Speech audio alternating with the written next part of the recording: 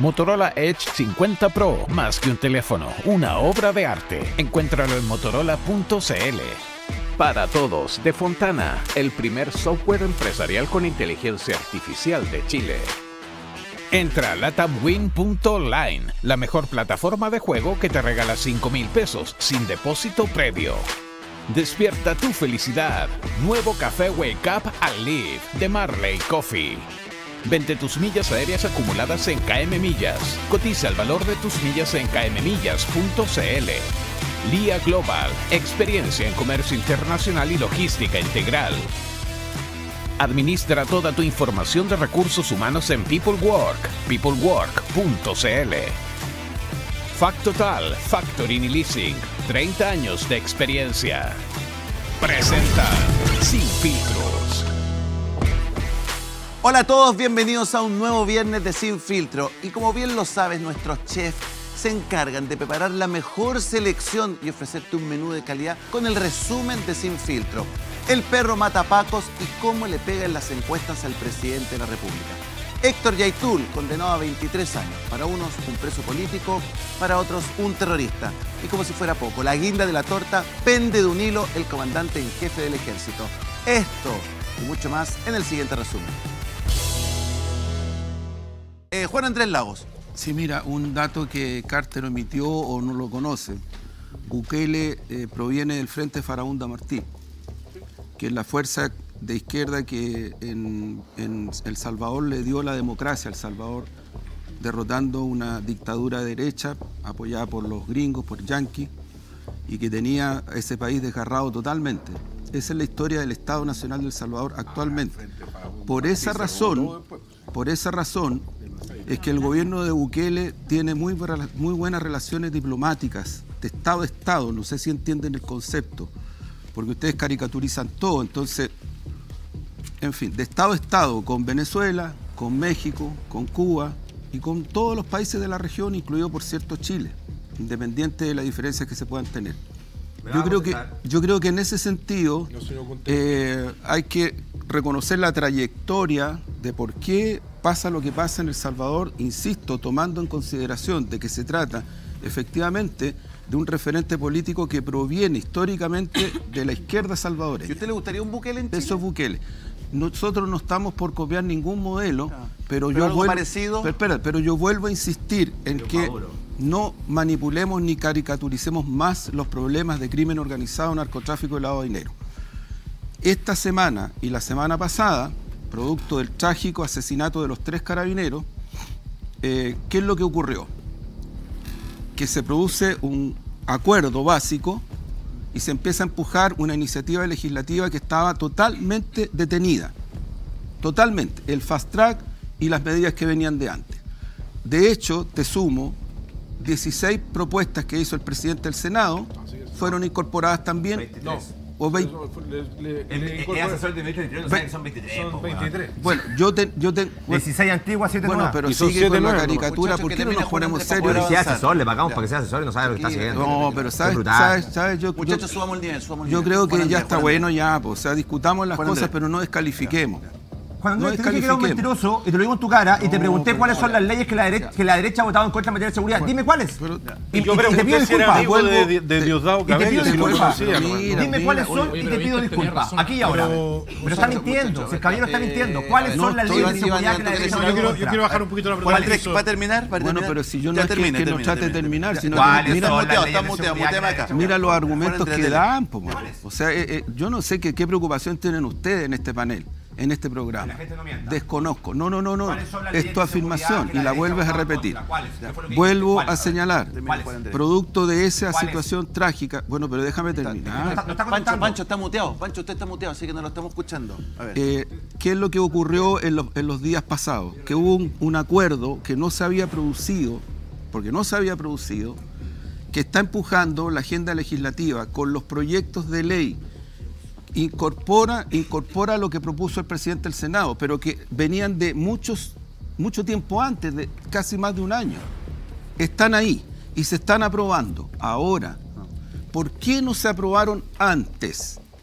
porque hubo un boicot, entre ellos el del lavado de dinero que impidieron que esos proyectos fueran aprobados. Yo lamento que nuestro gobierno en eso no haya sido más enfático para decirle a la ciudadanía, estamos con las manos atadas, porque ocurre que aquí hay un sector que dice que quiere luchar contra la delincuencia, el crimen organizado y el narcotráfico. El secreto bancario. Pero a la hora, secreto bancario, pero a la hora de los que hubo, simplemente votan en contra y boicotean. Ya, ¿usted quiere decir algo?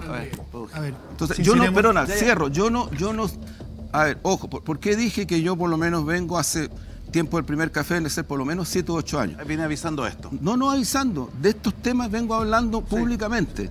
La derecha nunca habló de estos temas en ese tiempo. nunca. nunca. A ver, Carol Cariola, que es la presidenta, de la presidenta de Cámara de Diputados de su partido, votó en contra de la ley de crimen organizado, votó en contra de perseguir el robo de madera, votó en contra, pero si lo votó en contra Juan Andrés, está en el Congreso. Sí, sí, lo votó en contra. Y este Che Guevara, que, apareció acá, a veces uno, eh, se abstuvo, porque ni siquiera tuvo el coraje para votar en contra. Juan Andrés, hablemos en serio. ¿Por qué no se aprueban reglas de uso de la fuerza que permitan darle seguridad a los ciudadanos? Y, estoy hablando Ahora concretamente. Se está aprobando, pero, se está pero, escúcheme, pues. Porque su gobierno, lamentablemente, creó un protocolo donde los militares tenían que leer casi una carta, no sé, pues, de, selección de minoría. Eso lo hablamos, la ministra mm. toda se equivocó. ¿Usted está de acuerdo que se equivocó? ¿Respecto de qué? De esa el RUF que preguntaba si usted era minoría sexual, minoría ah, étnica, Migrante, adulto mayor. Mientras que decía eso, se, equivocó, hay, un, er, hay, un, error ahí. Pero se equivocó. Que se, pero que se cambia. de acuerdo. En la justicia militar ha habido toda una polémica y nos ratetraen a Pinochet. ¿Usted está de acuerdo que tengamos una justicia militar que permita a los militares operar con mayor operatividad, y con mayor poder de fuego contra los terroristas, mira, no Juan Andrés contra la población civil. ¿Usted está de acuerdo déjeme, Déjeme responder. Pero, responde la pregunta, por favor, no se me vaya para otro lado. Sí, pero es que no me digan si esta cuestión no es sí o no. es muy importante mira, primero, la población. Primero, aquí... Justicia militar le están preguntando. Aquí, aquí...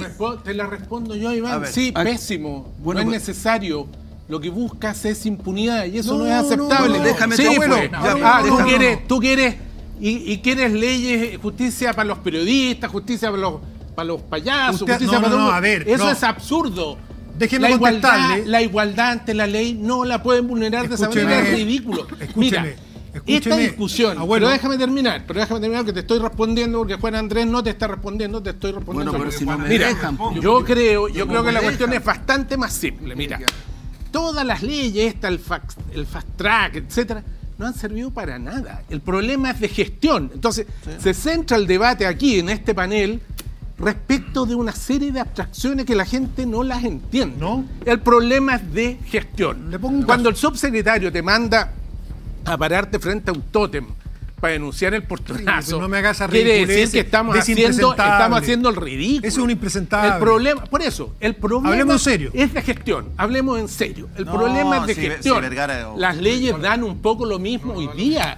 Implementar nuevas leyes, y esta en particular, el tema, en el tema de la RUF, meter que se repongan los tribunales militares, es una discriminación absurda. Pero déjeme argumentar. dejas eh, sin igualdad ante la ley a la ciudadanía. No puede haber unas, unos tribunales especiales. No puede ser. Eh, eh, no, dos cosas. Esta ley, abuelo, usted me acusó de, populista penal, no lo hizo así, no, pero. No, dije eso. No, no, no lo hizo así porque eso lo hace el iluminado que está al lado. pero eso lo hace el iluminado. Usted, que es mucho más serio y mucho más riguroso, me dijo una cosa. Le quiero decir que en la ruta de Cañete y Tiruga, en la Selva Oscura, en los sectores del lago Aranalhue, a los militares les disparan con armas de guerra y no se pueden defender. Porque no se pueden defender, porque el peritaje de esa defensa va a parar un fiscal como pasó con el caso de Jordan Lempi. Ese caso, hay testigos que dicen que fueron atacados con disparos, se defendieron los marinos y hoy día lo tienen formalizado a dos. Entonces, déjeme terminar, señor Retic. Entonces, eh, abuelo, estos para casos específicos, para darle seguridad a dos millones de personas que están aterradas con estos criminales que disparan. Pero si tienen la seguridad, las Fuerzas Armadas. Porque, le da más, certeza. Voy con, voy con, voy con Rodolfo y Juan Andrés que responda. Rodolfo y Juan Andrés. Ya, ya. Paz, paz, paz. Espera un poquito. Rodolfo y Juan Andrés. Rodolfo. Contratándole al abuelo, que sé que lo está haciendo de buena fe. ¿En qué descansa el uso de las armas por parte de los militares y las policías? En una delegación que hace la democracia en, nombre, en nombre de todos nosotros, a esos hombres y mujeres que visten uniforme.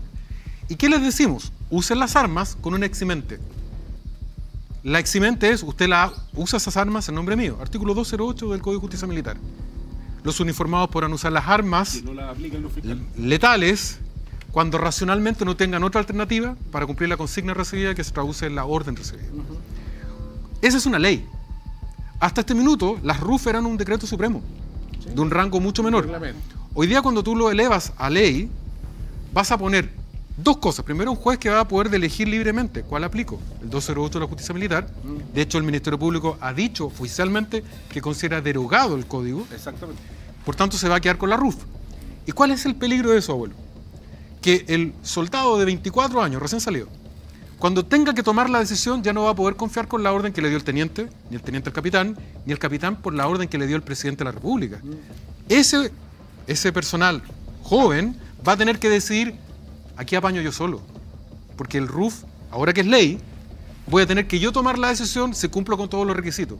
Por tanto, el peligro mayor, abuelo, es no solo la operatividad frente al delito, que a ti te importa mucho, sino además porque la certeza de la verticalidad del mando y la subordinación, por tanto, ese, ese clase, por ejemplo, recién salido de la escuela, va a tener que decidir él solito y no va a poder delegar en el comandante por la decisión que acaba de recibir. De hecho, están así, acaba de salir contestándole al ejército asesino que aquí se hacía hace unos minutos atrás. Acaban de ser dados de baja, dados de baja dos comandantes del ejército de Chile en el norte y se ha pedido un ministro en visita a la Corte Marcial en un régimen donde el comandante responde por las órdenes que le da a su subalterno, gracias al 208, la garantía de ese subalterno es que él ya no tiene que hacerse responsable, es su jefe. Es su jefe. Y lo segundo, lo más relevante, y esto es lo que resulta irritante, cuando el jefe del Estado, en democracia, Gabriel Boric, otro u otra que hemos elegido todos, es él el que toma la decisión. Es él el que asume la responsabilidad política.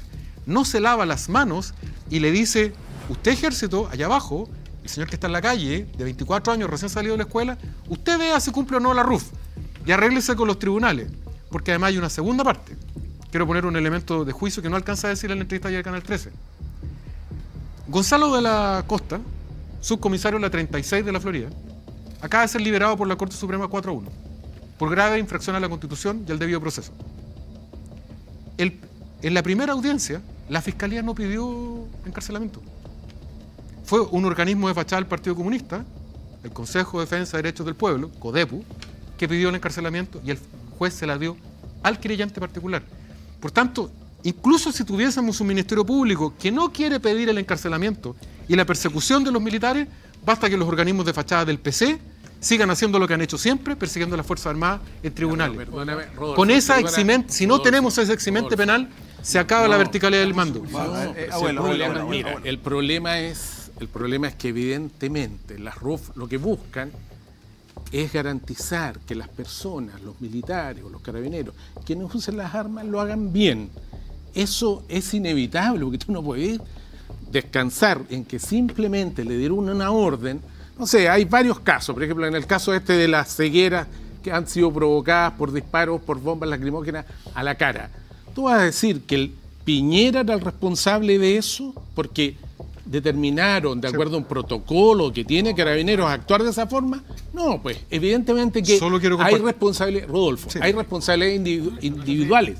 Si tú eres un concripto y te capacitan, te forman, te explican cómo funciona la RUF y hay un protocolo para eso, te tienes que hacer responsable de eso. No, Pablo. No, no, no, no, puedes, simplemente no te puedes, no te puedes escudar en la autoridad. Quiero, quiero, quiero, compartir, quiero compartir contigo un elemento de juicio. Si no se genera impunidad. De, de, buena fe. No, pero, pero, pero de, es, que, es, que esto es, frente a la ciudadanía. No, porque están organizados. Esta, muchachos, muchachos, esta, si te pegan un balazo, es una pregunta que tiene Rolfo Carter y una pregunta que la palabra. Pablo, yo sé que lo estás diciendo de buena fe, no tengo ninguna duda. Nadie quiere en Chile una justicia de élite o una justicia diferenciada como querían en el mamarracho según tu origen ético. Nosotros creemos en la igualdad ante la ley. Nosotros creemos en la igualdad ante la ley. Pero hay, dos elementos. Primero, los tribunales militares existen en todas las legislaciones internacionales y en la Convención de Ginebra, que regula los derechos de los prisioneros y el derecho humanitario de la guerra, se establece la posibilidad que ello ocurra y se determina. de guerra. Eso, por supuesto. Pero en caso particular, hoy día un militar tiene el 208 del Código de Justicia Militar que le dice, usted podrá usar las armas si racionalmente no tenía otra alternativa para cumplir la orden recibida. el racionalmente es lo que gobierna todo el artículo. Por tanto, al presentarse frente a un estrado, es decir, por ejemplo, para ponerlo en un extremo, ¿es racional enfrentar a tiros una manifestación de escolares? Por supuesto que no es racional. Va a tener que responder ante tribunales. Entonces, no, que, no caigamos en la trampa de que no había una legislación que regulara esto, porque la ha existido siempre. El peligro es que si nos llenamos de normas discrecionales, al final lo que va a ocurrir, Pablo, y es lo que a ti te interesa, yo tengo claro que la abuela también está por la mano dura en la, calle. Cuando tú le digas a un clase de carabinero o a un clase del ejército, cumpla la norma, ese señor va a tener que decir sí y antes sí se cumple todos los protocolos porque ya no tiene la certeza que responde el mando. Y eso es lo grave institucionalmente. pero Rodolfo, eso es fantástico. Que nos hagamos todos responsables. Hay algunas cosas que se mezclan aquí. Por ejemplo, aquí Pablo plantea a una persona natural de un movimiento eh, eh, con el tema de las RUF. Son distintos. ¿A quién le importa si le disparas en los ojos y dejas sin ojos a, un, a una persona que esté en el crimen organizado? ¿A quién le importa? De verdad, a mí me importa nada, porque está atacando a un funcionario carabinero, por lo tanto ataca al Estado, no ataca a nosotros. Pues. O sea, yo estoy por defender y poner Eso pasó en el, el RUF. Pasa, ¿eh? sí, pero, pero no había el RUF. Yo estoy por, por, la, sí, pues, pero es que eso es lo que se mezcla eso es lo que se mezcla. O sea, si la, y la gente está sumamente de acuerdo en su casa. tribunales militares. Sí, los, militares. Pero que los militares juzguen a los militares. Que los curas juzguen a los curas. Que los payasos juzguen a los payasos. Ay, muchachos, están muteados. Están muteados ya, le parte están muteados ya. Pasita, tiempos de guerra, hombre. Termine la pasita, que termine. A ver, muchachos, están muteados. A ver, a ver, aguanta un poquito. El ambiente está caliente aquí. Termina. Apúrate, apúrate, se la paso Reti. Ya. Sí, lo que pasa es que son dos cosas distintas. Una es el manifestante, el que está en una, en una, marcha. pero una persona que le tira una molotov a un carabinero lo quiere matar. Una molotov es un arma. Prende entero un carabinero y con el fuego se le queman las fosas nasales y los pulmones. Eh, quien te tira una molotov te quiere matar. O sea, eso para mí ya es para disparar. ¿no? Rodrigo Reti, ¿qué me pasa? Rodrigo Reti, ¿qué me pasa? Las palabras confunden, buenos son los números. Yo quiero recordar, porque aquí la hipótesis que se plantea por parte de un sector político es como que Carabineros y las fuerzas de orden están atados de mano. Yo quiero recordar el dato que di anteriormente. El 0,4% de 10.000 casos en el contexto del estallido social, el 0,4% está con sentencia condenatoria contra eh, personal de fuerzas de orden y seguridad. Entonces, más del 99,6% de los casos del estallido social con la justicia civil sin tribunales militares fueron favorables a las fuerzas de orden y seguridad. Por otra parte, usted se hace un ejercicio de sacar prensa de cualquier día. Puerto Montt, Carabinero mata con su arma particular a delincuente que entró a robar a su domicilio. Carabinero mata a delincuente que asaltó a mujer en Santiago Centro. Desde 2012, esto, es muy importante, esto es muy importante de exhibir. Desde 2012, ningún carabinero que abatió a balazos a un delincuente ha sido condenado o apartado de la labor policial por la justicia. Y esto es relevante entender, porque si usted suma estado de sitio, con conocimiento de tribunales militares, usted tiene que saber que el estado de sitio es que un militar va haciendo una orden judicial, le cayó mal al militar y va a ir y entra a su casa y se lo lleva. eso es el estado de sitio en concreto, no en abstracto, en concreto. ¿Y usted quiere que eso lo conozca un tribunal de justicia militar? Por eso yo digo que la democracia pende de un hilo cuando el debate de seguridad pública se lleva adelante con diagnósticos que están equivocados. Porque tener un estado de sitio y tribunales militares es dispararnos a los pies. y Iván va a ser muy está distorsionando todos los datos. Primero, 10.000 casos son 10.000 hechos de violencia en un estallido sin precedente en la historia donde había denuncia de todo tipo. casos ingresados. De las cuales había 3.500 querellas puestas por el, por el Instituto de Derechos Humanos. 1% condenado. Escúchame. De las cuales había 3.500 querellas. De las cuales muchas eran por carabineros que se habían defendido con sus bastones, con gas lacrimógeno, con balines, por, por herramientas que le había dado la fuerza. Déjame terminar.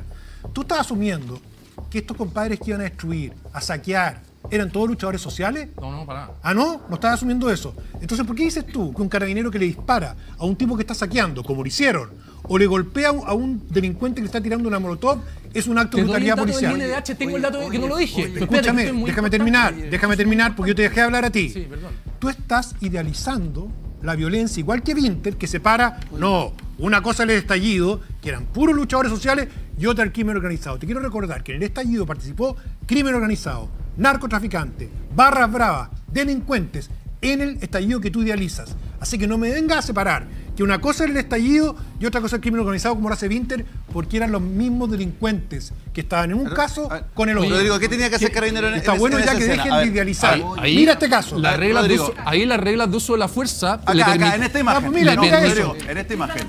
en, esta imagen. en esa imagen, ante agresión activa potencialmente letal, uso de armas letales. Acá, allá.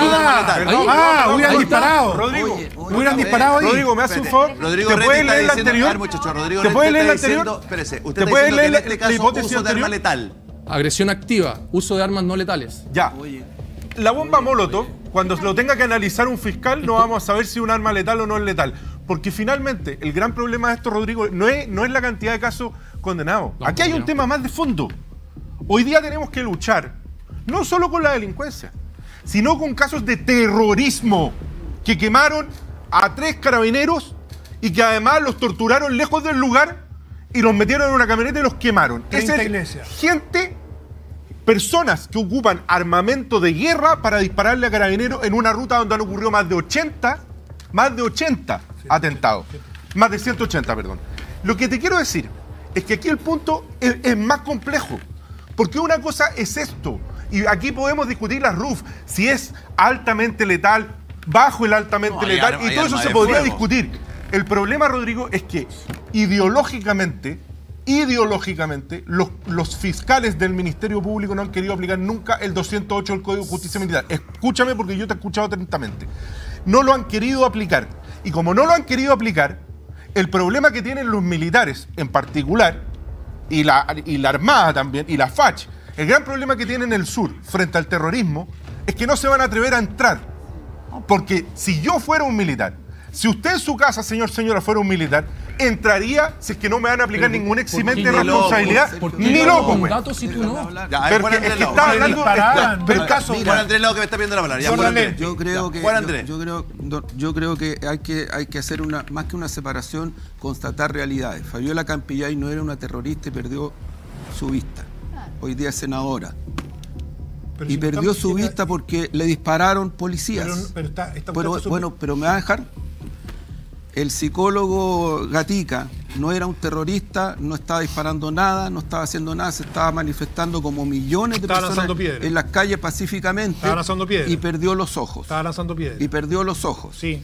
Entonces, ¿Qué hubiera hecho usted que Juan Andrés? oye, pero ¿puedo hablar o no? no, no, no, ¿puedo hablar o no? Sí, una Entonces, les pongo el caso de Fabiola Campillay, Campillay, amigas y amigos que están en este programa, de Gatica, esas son personas que fueron víctimas atroces de acciones de terrorismo, lamentablemente aplicadas por la policía. ¿De terrorismo? ¿Pero qué está evidente, evidente. Pero, fueron, Oye, pero déjame terminar, hombre, por favor. Pero usted no es cualquier persona. ¿Te puedes contener o no? Usted no es cualquier persona, hágase responsable. No, y tú también. Use las palabras correctas. No, y tú también, eres un campeón de la mentira.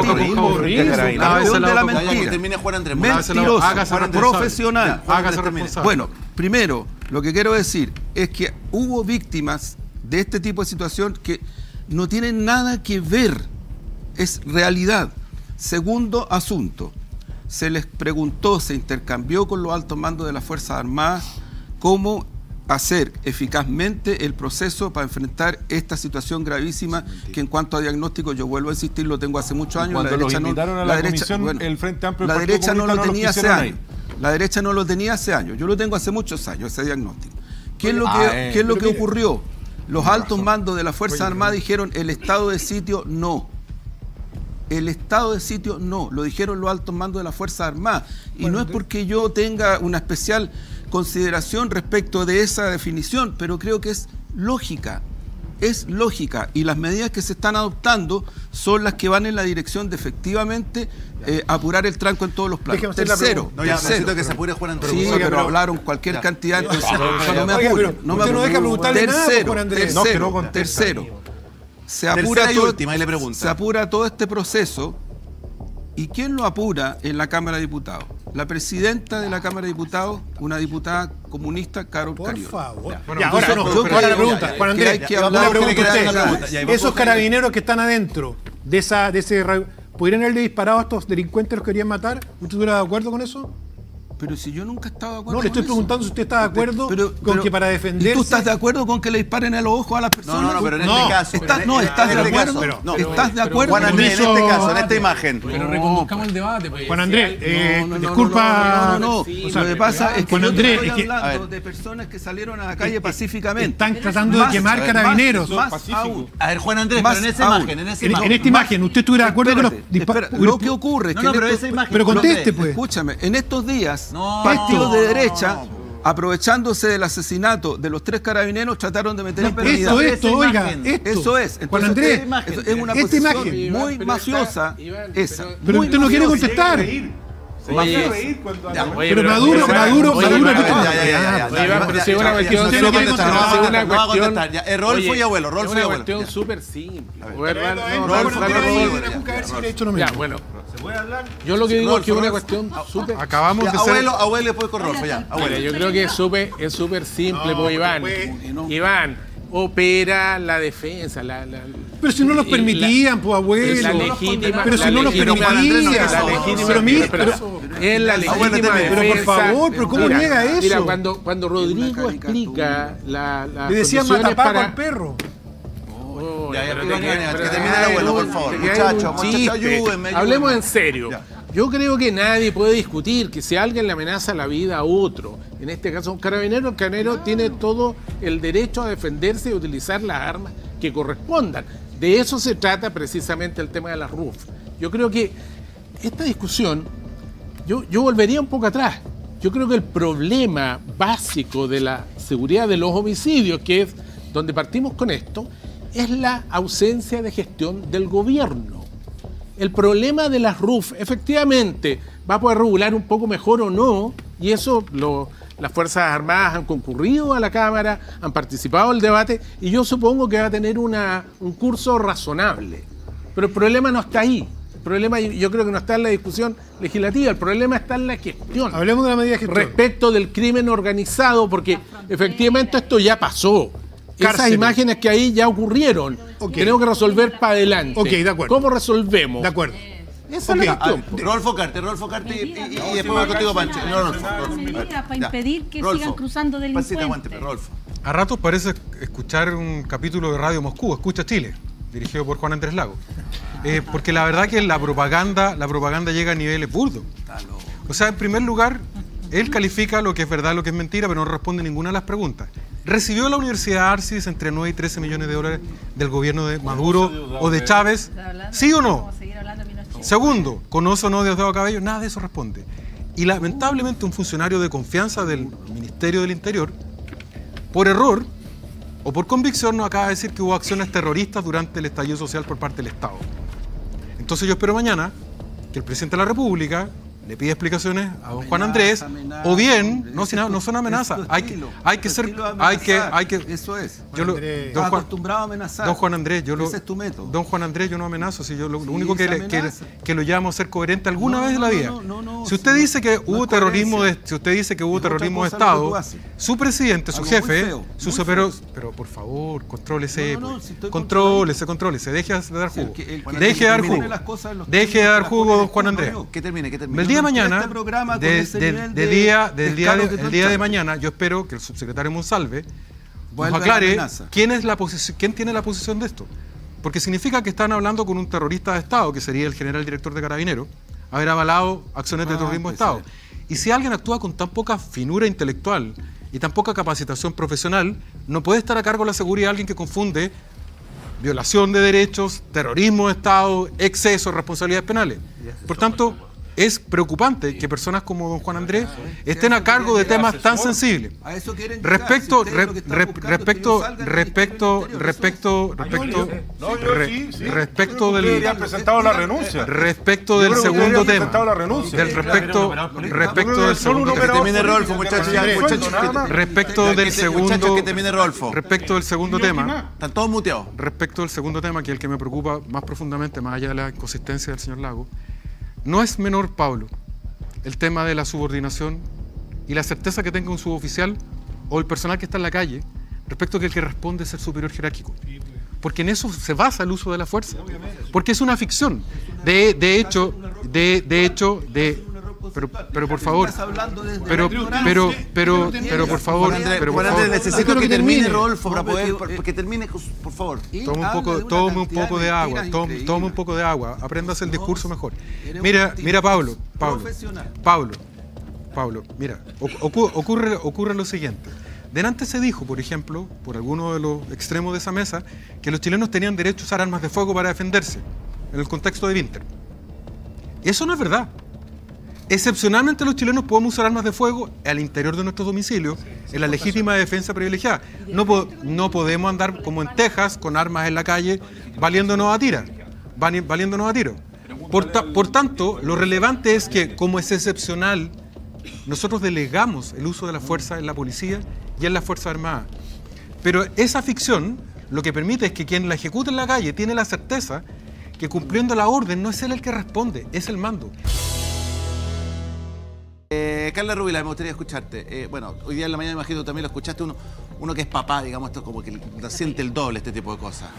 Sí, bueno, la verdad es que ustedes me vieron, yo casi no, no, no intervine en, en la discusión anterior, que creo que puede tener mucho sustento académico de todo tipo. Y a mí personalmente lo que me molesta de la intervención, y lo dije, de la alcaldesa Ripamonti, es que al final ella está en esta deconstrucción, construcción o como quieran, reivindicación incluso, cuando tiene una comuna que está llena de damnificados que lo están pasando pésimo. Yo, mi discusión tiene que ver con que, ¿por qué estamos hablando de algo que de verdad no es prioritario para la ciudadanía? Perdón. Y yo no por esto soy menos mujer, menos feminista, creo menos en las reivindicaciones. Perdón, eh, tengo una historia de vida preocupada de las reivindicaciones de las mujeres, pero lo que me molesta profundamente es que no estemos preocupados de esto que no estemos preocupados de efectivamente cómo enfrentamos el crimen organizado, el narcotráfico, la discusión que debiéramos dar de por qué no llega el gobierno a la comisión en materia de ley de, inteligencia, por qué efectivamente no estamos discutiendo o, estamos discutiendo eh, finalmente no llegando a un acuerdo en la ley de ISAPRE que aquí la han nombrado en varias oportunidades. pero, pero, Carla, sobre el, sobre el, sobre el tema, espérate, espérate, sobre el tema de seguridad está la discusión de la RUF. Y en tu sector están instalando eh, que se instalen también eh, justicia paramilitares. Pero ¿No te parece que ya es un tejo un poco pasado? Es que ¿sabes lo que me pasa, Gonzalo? Que a mí me gustaría que nosotros nos poráramos desde dónde damos esta discusión. A ver. Ya, yo soy una mujer de centro, tengo credenciales democráticas hasta decir basta. Y la pregunta es, ¿desde dónde nos paramos para dar esta discusión? ¿Nos paramos de la realidad de hace 15 años atrás o nos paramos de la realidad de hoy? Hoy. Parémonos desde la realidad de hoy. Y en la realidad de hoy nosotros le estamos pidiendo, y no solamente el sector al que yo represento, sino que el gobierno, alcaldes como Tomás Bodanovich, o sea, alcaldes como Christopher White, o sea, desde el oficialismo, hoy día se está parando la ciudadanía diciendo no es suficiente con las fuerzas de orden y seguridad que entendemos y necesitamos la ayuda de las Fuerzas Armadas. Eso hoy día es un consenso. La duda es si es solo infraestructura crítica, si es solo policía fronteriza, si es intervención en las poblaciones, pero lo que hoy día se está planteando es que estamos tan superados con el narcotráfico, el crimen organizado y el terrorismo en la macrozona sur que requerimos de ayuda de las Fuerzas Armadas en materias que no eran de su competencia en esencia. En ese escenario, la pregunta es, ¿Cómo yo le pido a las Fuerzas Armadas que salgan a ejercer este rol? Pero si Carla, yo tengo entendido que los militares no quieren salir. Bueno, pero, pero, pero evidentemente no que no quieren. En la interna no quieren. Pero Gonzalo, ¿qué duda cabe que no quieren salir?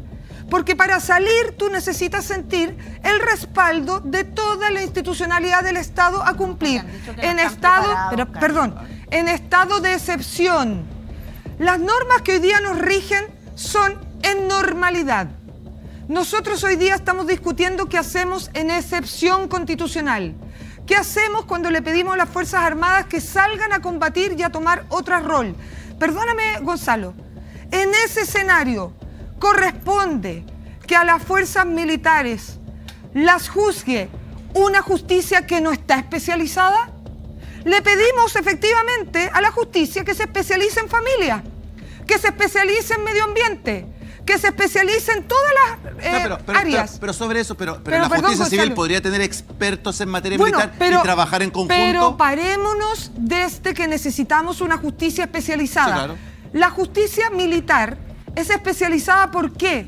Porque un militar que sale a enfrentar el orden público y la seguridad está y se para desde otra mirada, desde la verticalidad del mando, desde la obediencia, desde la disciplina. Perdón, la justicia ordinaria tiene las competencias para enfrentar y, justar, y hacer justicia. Si no lo sabe, si no tiene conocimiento, yo ni siquiera estoy tomando el tema de si hay ideología o no hay ideología, que si hay ideología en algunos fiscales y si hay ideología en algunos jueces.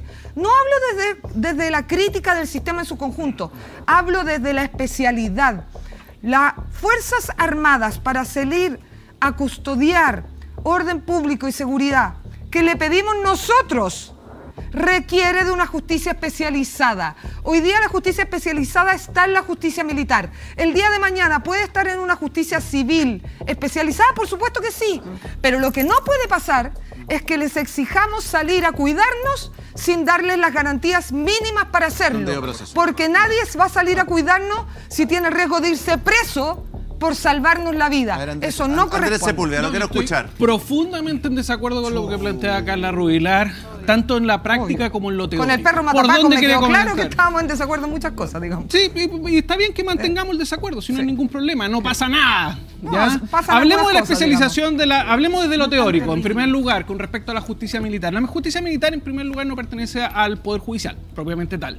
Los jueces que son de, justicia militar no, no participaron de la Academia Judicial ni hicieron esa carrera funcionaria. ¿ya? Son en su gran mayoría ex militares que se dedican al derecho o que están incorporados en, las fuerzas de, armadas y participan de esta justicia militar. La justicia militar sigue funcionando hoy, o sea, lo que ocurrió en Putre lo va a ver la justicia militar. ¿Por qué? Porque intervienen solamente soldados, hombres de armas.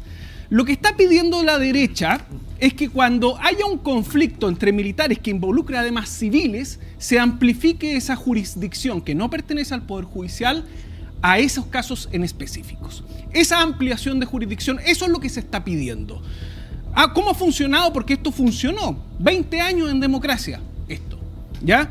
Primero que nada, hay que decir que en dictadura la justicia militar operaba y ¿saben cuánto colaboró en, en el esclarecimiento de las vulneraciones de derechos humanos, de los crímenes de lesa humanidad? Cero. Huevo. Cero, como dice Gustavo. Cero. Y los 20 años posteriores que trabajó en democracia, ¿saben cuánto colaboró en el esclarecimiento de esos hechos, de los crímenes de lesa humanidad? Cero. Huevo. ¿Cómo fue? ¿Desde dónde aparecen las primeras sentencias? Las primeras sentencias aparecen porque van a ministros en visitas que ya pertenecen al Poder Judicial. Entonces, jueces de verdad, jueces de verdad, y ahí se hace la pega. ¿Ya? ¿Qué es lo que está pidiendo la derecha? La derecha está pidiendo sustraer esto de un tercero imparcial y entregárselo a un comité de pares, porque para que entienda toda la gente en la, la ciudadanía afuera, la justicia militar es justicia de pares. ¿Ya? ¿Cómo funciona en el Congreso la justicia de pares? ¿Cómo funciona el comité de ética? Porque ahí son los pares los que te juzgan. ¿Cómo el foro? ¿Sabes qué? Déjame, déjame, para complementar un poquito eh, tu, tu, línea. Eh, Euge, ¿me puedes buscar eh, en la CADEM, donde tengo entendido que un 58% de las personas encuestadas eh, piden que exista justicia militar, dado, dado, espera un poquito Pancho, dado que aparentemente hay mucha gente que tiene desconfianza en ciertos jueces o en ciertos fiscales o en la justicia chilena. Dice, retorno a tribunales militares. ¿Usted está de acuerdo o en desacuerdo con la siguiente frase? Que se devuelva a tribunales militares la competencia de juzgar a militares y carabineros cuando haya víctimas civiles. Un 59% de acuerdo. Déjame, déjame. Que termine es que, sí, es que sí, yo creo que eh, primero desde, este es un debate muy técnico. Sí. Y como tal, eh, no podemos legislar necesariamente a partir de lo que dice una encuesta de percepción. Que por lo demás, ojo con las percepciones. Ojo con las percepciones. ¿Ustedes saben cuántos funcionarios policiales que hayan abatido delincuentes desde el año 2002 a la fecha, 12 años, han sido condenados por la justicia? Ninguno. ¿Qué, ¿Cuáles son las noticias que vimos hoy día en la prensa? Yaitul condenado a 23 años la persona que defendió en legítima defensa a su familia en, Villa, Alemana, fue absuelto. ¿Qué es lo que nos dice eso del Poder Judicial? Que el Poder Judicial funciona. El gran caso que Pero la Fiscalía pedía 15 años. La fiscalía. Para que defendió su casa. Pero está bien, si, si la, legítima defensa se tiene que probar cuando no funciona en, en, el, cargo. es, caso a caso, muy bien. Y fíjate tú que desde la ley Naín Retamal, adicionalmente, cuando un funcionario de carabineros utilice su arma en, el, en el ejercicio de sus funciones, se le va a presumir que lo ha hecho con legítima defensa. Por lo tanto, ¿de quién es la carga de probar de que, se hay, que no existió la legítima defensa? Del órgano persecutor, de la fiscalía. Pancho Rego, Pancho Rego. Eh, mira, estoy profundamente en desacuerdo con el octubrismo y tengo que estarlo por una cuestión de convicción que no es jurídica, es política. Ante hechos extraordinarios, respuestas extraordinarias. Yo no me voy a meter en la justicia que existía durante la dictadura porque, amigo, no había justicia. Sí voy a hablar de la justicia en los últimos 34 años, porque es muy distinto, querido Andrés, enfrentar a grupos terroristas, crimen organizado y de narcotráfico que hoy día están instalados en la macrozona sur y a lo largo y ancho de este país, que enfrentar a los grupos terroristas durante 1990, el 94 con Patricio Elwin, la oficina que los desarticuló. ¿Por qué no se ejerció esa justicia? Amigo, porque no existían esos grupos terroristas. El problema que tenemos hoy en día es que nuestros militares, para poder desplegarse en resguardo del orden público, amigo, de la vida de compatriotas, Juan Barrios, un trabajador que fue incendiado en el interior de un camión por grupos terroristas de resistencia anti-nacionalidad chilena, reconocidos y adjudicados, Resistencia Lafkenche, la coordinadora Arauco Mayeco, la UAM, son todas agrupaciones de carácter terrorista que lo que están hecho es declararle la guerra al Estado de Chile. Entonces soy más sincero, estamos en guerra contra un enemigo poderoso e implacable. Y lo que yo sostengo y lo que sostiene la derecha en este momento es que no simplemente basta con decretar el estado de sitio, porque sí te lo digo aquí ahora, estado de sitio. Y no por convención interna, por guerra interior. Y en esas circunstancias de estado de excepción constitucional de, de sitio, yo aplico justicia militar. Porque lo que busco es que en caso de estado de excepción constitucional, en caso de protección de infraestructura crítica, en caso de alteración del orden público en actos eleccionarios y publicitarios y en caso de resguardo de la frontera, mis Fuerzas Armadas, las que están desplegadas para protegerme, ¿sabe alguien? A mí, a mis compatriotas, a esos padres que han sido asesinados, a esos vecinos de Cañete que no saben si pueden llegar a su casa, que transitan por la ruta P72 y ven balazos correr por encima de ellos. Cuando yo veo ese nivel de organización, de terrorismo, de narcotráfico, de crimen organizado de la Ucrania, yo tengo que desplegar, tengo que desplegar a mi fuerza. Pero espera, espera. Impunidad. espera. La justicia. La ley de amnistía. No te. Si nos ponemos a hablar todo encima, si nos ponemos a hablar todo encima, no nos vamos a entender. Si nos ponemos a hablar todo encima, no nos vamos a entender. Yo no voy a permitir que mi se agarre Entonces, pero déjame terminar el punto, porque si no, no, es que Gonzalo, si no me terminar el punto a ver, a ver, a ver, a ver, ya, muteamelo todo, muteamelo todo, muteamelo todo. Vamos, vamos al marketplace o no, ¿estáis listos? ¿Están listos para el marketplace o no, muchachos? Porque, porque por favor, o sea, ya ayer estuvo difícil, fue un lindo programa, pero déjense hablar un poco, por favor. ¿Sabes, cuál es el punto? A ver, ¿están listos o no, el punto, teniente? no, todavía no. pero, pero, pero termínelo, por favor, para que no se. porque no, todos quieren hablar. termínelo, por favor. Yo estaba explicando el punto, llevo 30 segundos hablando, quizás dos minutos, quizás tres minutos, pero si, si, interrumpimos, no nos vamos a entender.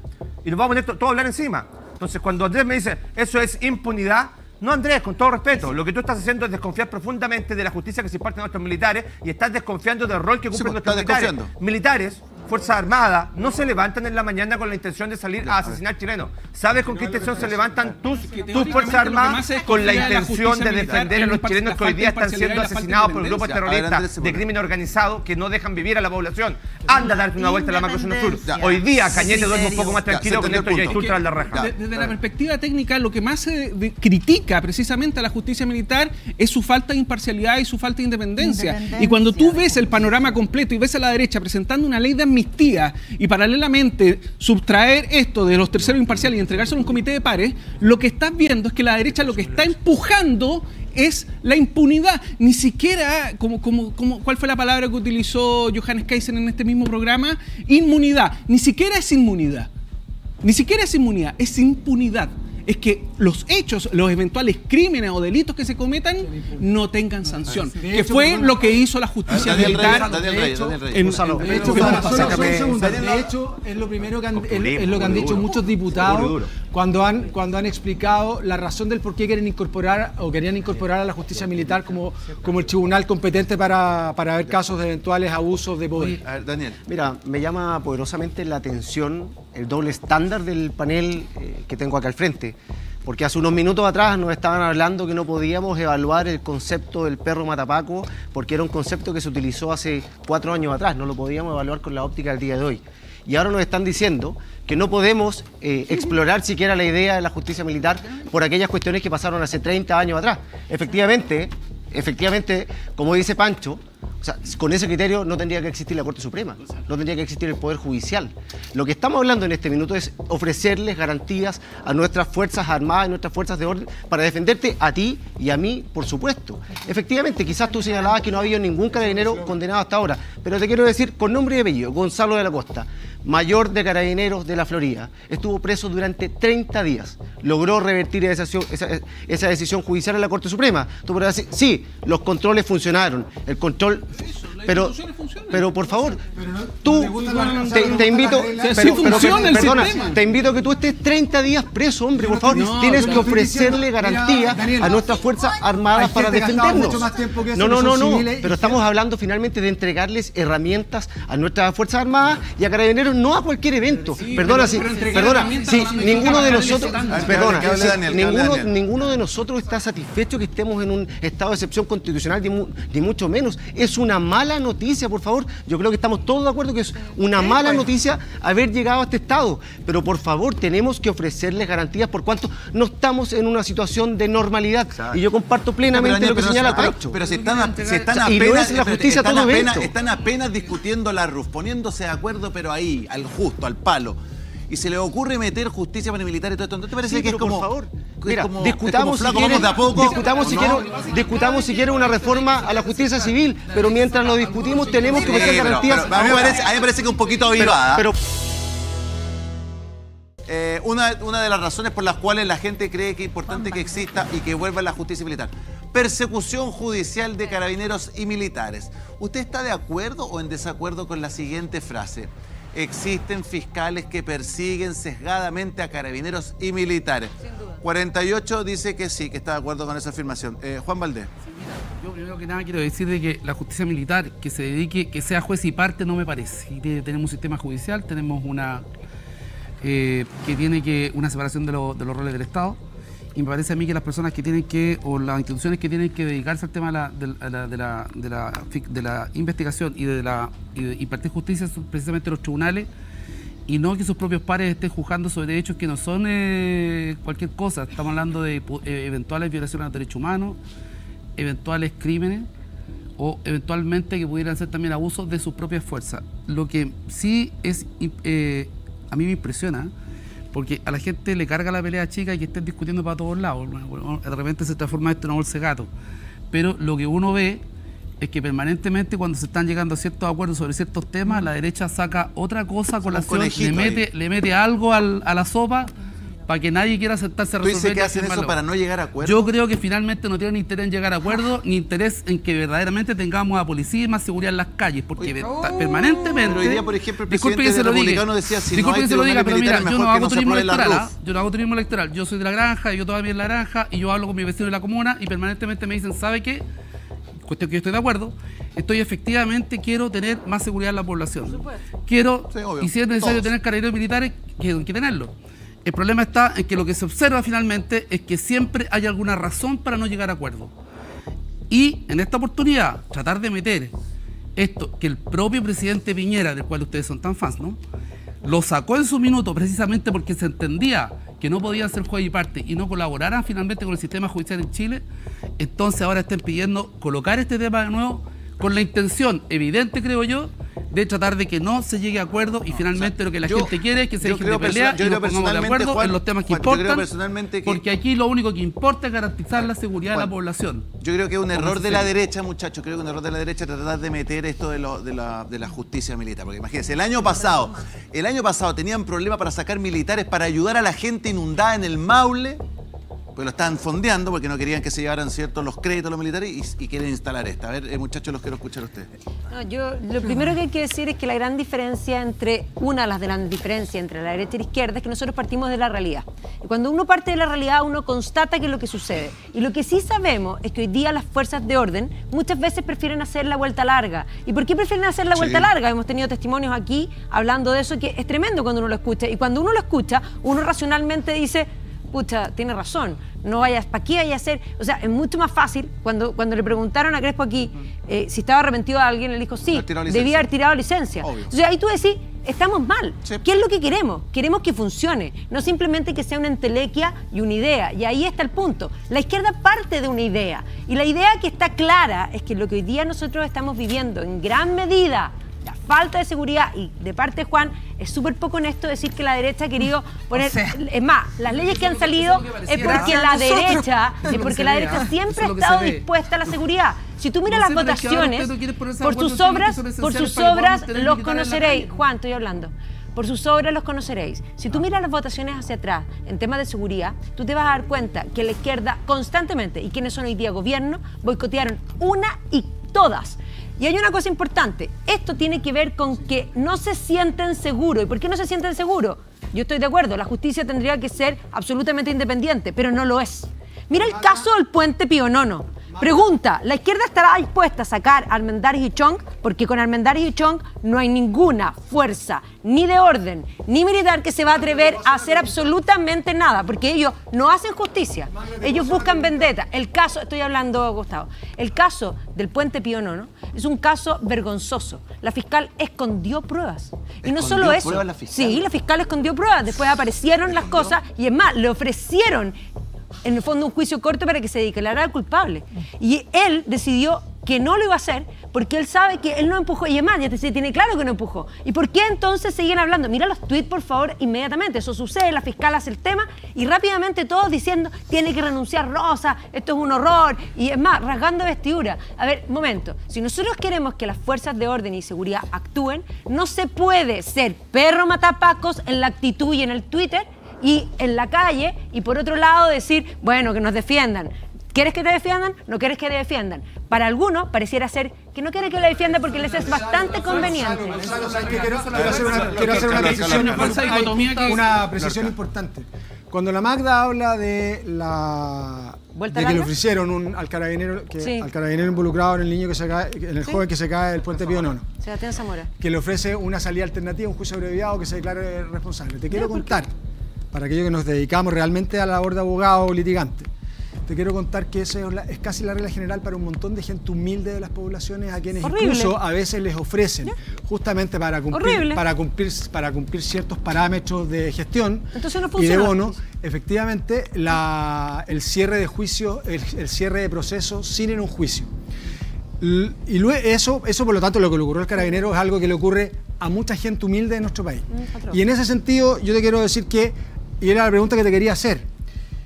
Usted, tú ni siquiera reconoces que, a pesar de, que de ser este gobierno el que ha aprobado 52 leyes en materia de seguridad, eh, no le reconoce absolutamente ningún mérito. Y lo segundo, respecto a las leyes importantes, la ley de inteligencia lleva cuánto tiempo, y eso es, un defecto del Parlamento, ocho años, y el levantamiento del secreto bancario, que es la forma, es la forma de perseguir de perseguir a las, a las asociaciones narcotraficantes. No pagan en efectivo. No pagan así, pagan en eh, efectivo. Magda, lo que te quiero decir es que si existiera, la, si existiera esta posibilidad de revisar, por ejemplo, cómo se incrementan los patrimonios de ciertas autoridades, incluso de ciertos alcaldes, durante su gestión, de cuándo entran, desde cuándo salen, fíjate que podríamos tener un mayor control respecto, no solo de la corrupción, sino que también del crimen organizado. Por lo tanto, en ese sentido, a mí me gustaría preguntarte, ¿por qué, ¿por qué la derecha se opone tenazmente a levantar el secreto bancario? Ya, mira, súper simple. Ya te lo voy a contestar, te voy a contestar las dos cosas. Lo primero es con respecto a la aprobación de leyes, por supuesto, si ahí partir la base, nosotros siempre estamos, estuvimos dispuestos a los votos. La oposición, cuando estaban en el Parlamento, no estaban dispuestos a ninguno. Entonces, con nosotros siempre van a contar y por eso se han aprobado las leyes que debieron haberse aprobado mucho tiempo antes para no llegar a lo que estamos. Eso es lo primero. Lo segundo, con respecto al secreto bancario, primero, los narcotraficantes no operan depositándose en las cuentas, ya se pasan maletines con plata y después las limpian por algo y tantas barberías, más, más barberías que barbas en Chile. O sea, a ver, si aquí uno no, no hay que ser muy, muy brillante para darse cuenta de que efectivamente lo hacen de esa forma. Dicho eso, pues aquí el objetivo, hay una minuta muy clara de parte de decir, nosotros somos los que aprobamos la regla de seguridad y ustedes no quieren abrir el derecho, digamos, los, secretos bancarios. De partida, cualquier fiscal puede pedir abrir y eso está. las, transacciones grandes tienen que ser informadas. o sea, ¿por qué quieren abrir el secreto bancario? Porque quieren otra cosa que es muy distinto. Nosotros no vamos a estar dispuestos a eso porque nosotros creemos en la libertad individual, en la privacidad y así como no pueden entrar a tu casa sin una orden judicial, tampoco pueden entrar a tu cuenta sin una orden judicial. Eso, es lógico, es absolutamente lógico. Los narcotraficantes, tú, tú usas el argumento por los narcotraficantes, pero en realidad lo que quieres es hostigar a las personas normales. Eh, Daniel, mira, varias cosas. Eh, y ahí no tengo ningún problema que las autoridades públicas eh, tengan a disposición y levanten el secreto bancario. Yo tengo una diferencia incluso con eso. Ningún, ningún, complejo. Ahora, como tú bien dices, efectivamente esa es una posibilidad que se puede requerir en cualquier minuto que la unidad de análisis financiero tú tienes la obligación además de informar cualquier operación sobre un determinado monto, pero efectivamente creo que no va a resolver el problema, porque como bien dice Magdalena, el crimen organizado, el narcotráfico, no opera de esa manera, porque si bien efectivamente operan con, con, dinero en efectivo, existen toda una, una, una maquinaria, una estructura, muchas veces incluso societaria, para poder lavar esos recursos, por tanto no tiene ningún efecto práctico hacerlo. Ahora, te, respondo y, perdona, te mato, te, mato, el punto. Creo que todas las autoridades, creo que todas las autoridades públicas o quienes o quienes pretendemos acceder a un, un cargo de elección popular tenemos que estar a disposición de levantar nuestro secreto bancario. No hay ningún empacho respecto de eso. ¿Resuelve el problema? Creo que no lo resuelve. Tu área de recursos humanos puede ser más eficiente con PeopleWork. Con el software de gestión de personas podrás llevar en línea el control de los turnos y horarios. Y con un solo clic firmarás digitalmente todos tus documentos. Ahora, además, está disponible el nuevo módulo de remuneración. Alivia el trabajo de tus colaboradores ahorrando tiempo y dinero con PeopleWork. Certificados por la Dirección del Trabajo en los módulos de firma digital y asistencia PeopleWork tiene las credenciales para ser el partner en la transformación digital de tu organización. Visita peoplework.cl. Dame la música, por favor. El secreto de los que sonríen por las mañanas no es el desayuno milagroso que vieron en TikTok. No, no, no. Solo necesitas comenzar el día con un sabor que te haga sonreír. Nuevas cápsulas Talking Blues con dulces sabores. Cappuccino Classic, cappuccino vainilla y chai latte. Cápsulas Marley Coffee, Talking Blues, el secreto de las mañanas felices. Compatibles con máquinas Dolce Gusto. Encuéntralo en supermercados y punto Marley Coffee. Más información en marleycoffee.cl. Si necesitas ayuda para hacer crecer tu negocio, contacta ahora a Factotal, pioneros en factoring y leasing. En Factotal te apoyarán convirtiendo tus facturas en dinero efectivo dentro de 24 horas. Factotal, más de 30 años en Chile y presente en cuatro países. Entra a factotal.com, haz clic en Contáctanos y te atenderán inmediatamente. Factotal, una ayuda para hacer negocios. ¿Tienes millas aéreas acumuladas y no tienes intención de usarlas? ¿Tienes gastos extras y necesitas dinero? En KM Millas te las van a comprar. Tus millas al mejor precio del mercado. No esperes más, entra hoy a kmmillas.cl y véndelas antes de que la compañía aérea las elimine. KM más de 10 años liderando el mercado de millas en Chile. Y recuerda seguir a mis amigos de KM en todas sus redes sociales. Héctor Yaitul en el titular, esta es una condena política contra el movimiento autonomista mapuche. Eh, esto lo escribió eh, Carolina Trejo. Una condena política. Este, a ver, eh, la pregunta termino acá. ¿Es un terrorista o un preso político? Ah, quiero ir contigo, Dawn, después paso para acá, muchachos. Sí, bueno, evidentemente ya lo dije al comienzo del programa, lo dije ayer en Twitter también. Este es un caso de persecución política. Em, es, un preso, es un nuevo preso político del pueblo político. Sí, es el primer preso político de Gabriel Boric.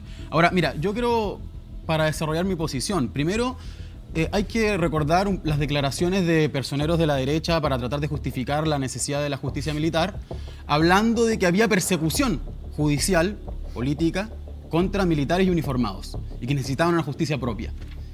Entonces, ellos consideran que hay persecución política en el caso de los militares, pero no hay persecución política en el caso de los mapuches. Porque después decían en el programa de ayer que no hay presos políticos en Chile. Entonces, primero que todo me parece bastante raro ese doble estándar, porque miden con una vara los casos de comuneros mapuche y con otra vara los casos de militares o policía.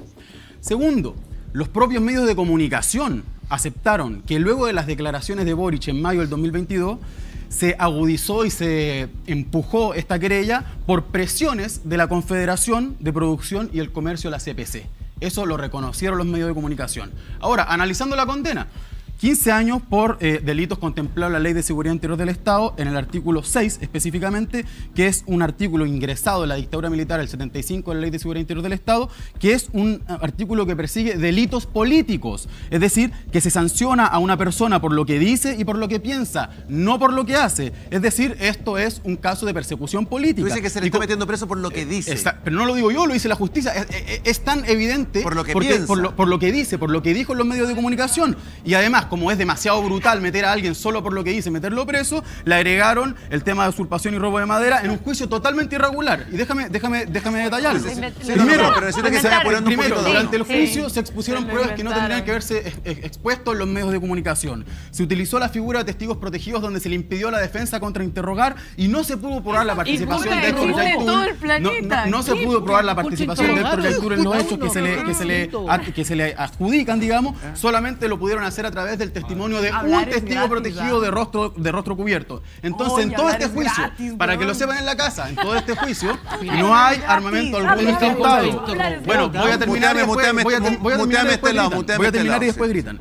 En este juicio no hay armamento incautado, no hay madera recuperada, no hay hechos probados, no hay maquinaria como prueba, solo las declaraciones de Héctor Yaitul y las declaraciones de testigos protegidos que violan toda la eh, que es una excepcionalidad, además judicial que viola cualquier tipo de derecho de, de quien tiene que defender Y por eso, y con esto voy cerrando, por eso decimos que este es un caso de persecución política, decimos libertad para Héctor Yaitul, para todos los presos políticos mapuche, y de fondo, y más de fondo, Héctor Yaitul eh, puede quedar preso es, un, proceso judicial que sigue abierto. Pueden tratar de desarticular a todas las organizaciones mapuche eh, que hoy actualmente existen, pero el conflicto del Estado chileno con el pueblo mapuche va a existir mientras siga oprimiendo al pueblo mapuche, mientras siga habiendo un despojo histórico de las tierras y se instalen millones y millones de hectáreas territorio. Natalia me pasó para allá. Natalia, Natalia, Natalia me pasó para allá.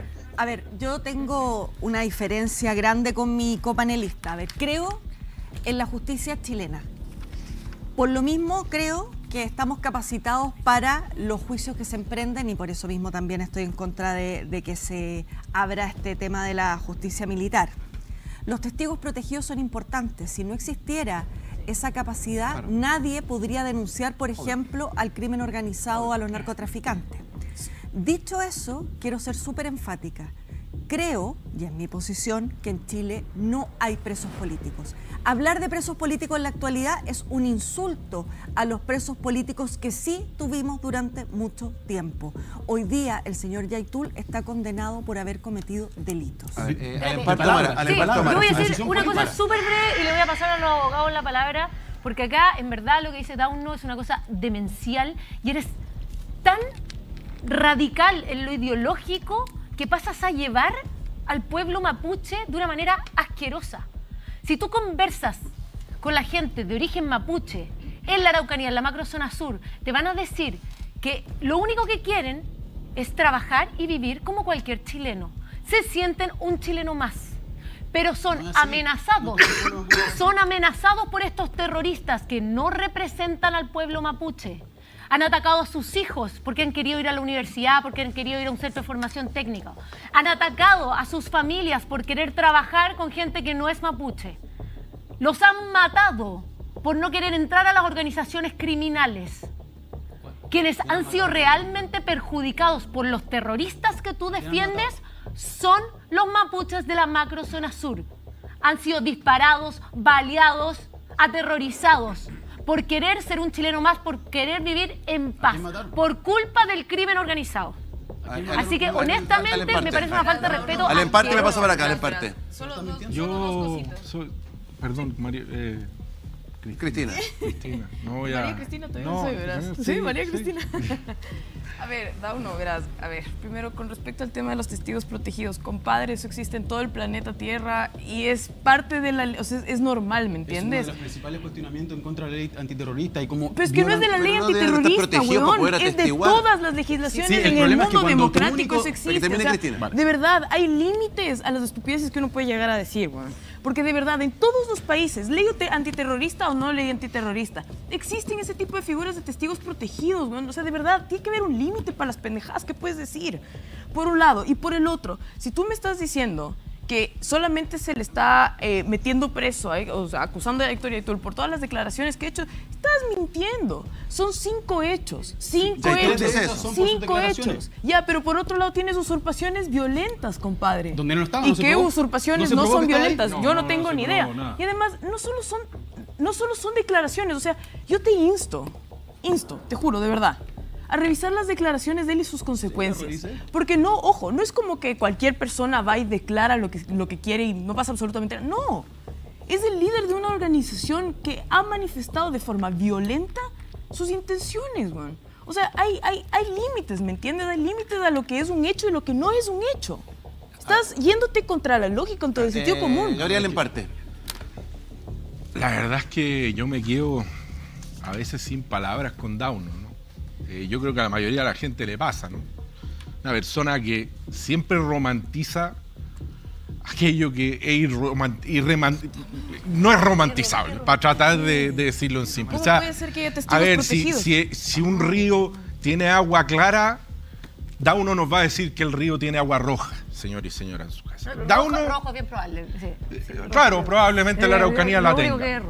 Héctor Yaitul es un terrorista consumado pero, comparto con Aldo que todavía. ¿Puedo terminar? Eh, porque te escuché con atención, querido Dauno. Te están gritando. Eh, y la verdad es que creo que.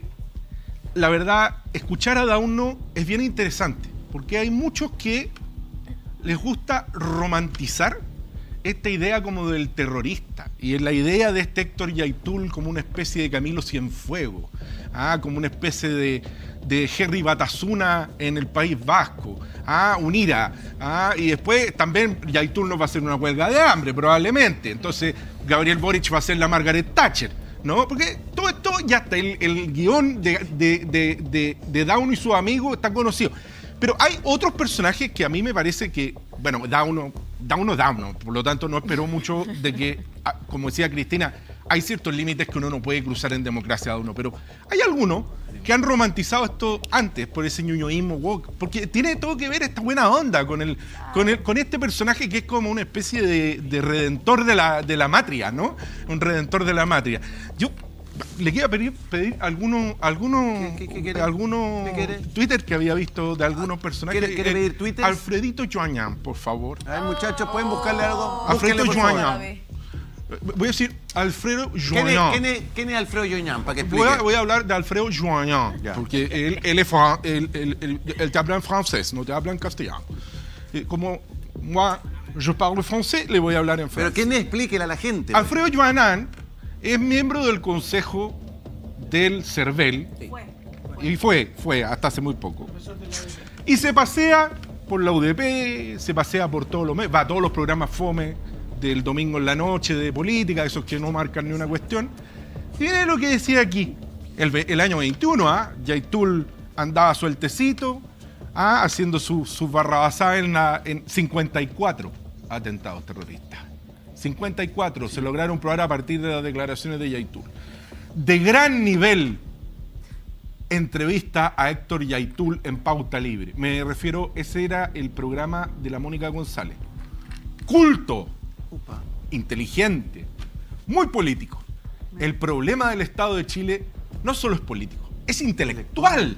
O sea, estamos llegando a un nivel. Solo en la Sorbón podemos llegar a eso. es intelectual. La capacidad cultural de Yaitul es no solo grande, es imponente, señores. No estamos, estamos perdiendo a Yaitul. O sea, o sea a ver, no solo perdimos, eh, eh, con este tuit, no solo perdimos a Yaitul, perdimos a Alfredo Joañón. O sea, de verdad, yo, yo estoy preocupado, Alfredo, porque, Alfredo, a ti te gusta harto eh, disparar por, por, Twitter, pero aquí pero te, ese, te, te, te sobregiraste. te, pasaste, te pasaste un par de vuelos. o sea, a mí me han sacado la cresta varias veces en Twitter, me da lo mismo. Yo quiero defender a Pero, pero, pero, amigo, esto, esto, esto, esto es esto es pornografía. Esto es pornografía. Esto, esto, es una felación en vivo. No, esto no se hace hasta ahora. No, no, no, no. Esto, esto, esto es pornográfico. Esto es, eh, porque lo de Dauno, lo de Dauno ya es como de manual. pero, nada más. Pero, eso no me voy a decir. Eh, tienen, eh, muchachos, parece que la producción me está diciendo, me están diciendo que hay más arqueología tuitera. Ah, qué entretenido. A ver, que la ministra. Oye, a todo esto me soplaron que la ministra del Interior parece que puso el cargo a disposición, muchachos la semana pasada. Pero la está poniendo según. Ahí está. Carolina Toa, 22 de marzo del 2011. Es difícil entender. 25 años a Yaitul por homicidio frustrado y al carabinero que mató a Matías Catrileo, tres años firmando, ni un día de cárcel. La ministra del Interior. Tiene Giorgio Jackson. A ver, Giorgio Jackson, póngale, a ver, hágale Lo que no hemos hecho, tal como lo dijo el presidente, que esto no es un gobierno que vaya a perseguir las ideas. Eh, y eso es algo que es una línea que baja desde el presidente en adelante. Eh, eso es muy propio y la línea es muy delgada en los regímenes autoritarios, cuando lo que se hace es como tratar de eh, acusar, perseguir, criminalizar por lo que haya dicho una persona. Veamos casos emblemáticos en la región también. Llamar a armarse. Muchas veces estas leyes de seguridad del Estado. perdón, es que hay una diferencia. A ver, eh, eh, Nico Preu. Yo vengo instalando hace, hace un par de programas la tesis del Chile histérico y pendular. ¿ya? Mm. Eso es lo que yo siento que sucede en este país. Pasamos de la lista del pueblo a republicano. Mm. Pasamos de Piñera a Bachelet, de Bachelet a Piñera, pasamos de la derecha a la izquierda y así nos vamos, péndulo a péndulo. Vamos bien. Lo que vemos hoy día en la, arqueología tuitera es exactamente lo mismo. Tweets que hoy día están en un extremo, pero que hace 10 años atrás, 2011, 2012, 2013, estaban en el otro extremo. Ahora, mucho cuidado con esto, porque finalmente, y te, lo digo Dauno, uno tiene que tener un poco de criterio y responsabilidad en lo que dice. Doy un ejemplo. Cuando tú hiciste el llamado a que los jóvenes no participaran de la prueba de selección universitaria. Tú fuiste parte de quien hizo ese llamado, fuiste parte del conglomerado que hizo ese llamado. Víctor Chanfró. No, pero fuiste parte, fuiste parte del movimiento que participó en eso o soy mentiroso. Da lo mismo. Dale, fuiste parte de ese, de ese movimiento. punto, dale. Entonces, lo que quiero decir es lo siguiente, cuando uno hace ese tipo de, de digamos, de llamados que son para no participar, para estar fuera, para levantar verdades, lo que hace es fijarse en una parte del extremo, en una parte del péndulo. ¿ya? Ahora, lo que vemos hoy día es que ese péndulo tiene que en algún momento detenerse, porque también vamos a tener un problema con la derecha. La derecha lleva dos años, tres años, diciéndonos que este gobierno lo ha hecho pésimo, que el presidente es lo peor que hay y que ellos son la solución para todos los problemas de violencia que hay en este país y de crimen organizado. Eso es lo que ustedes le vienen diciendo al país.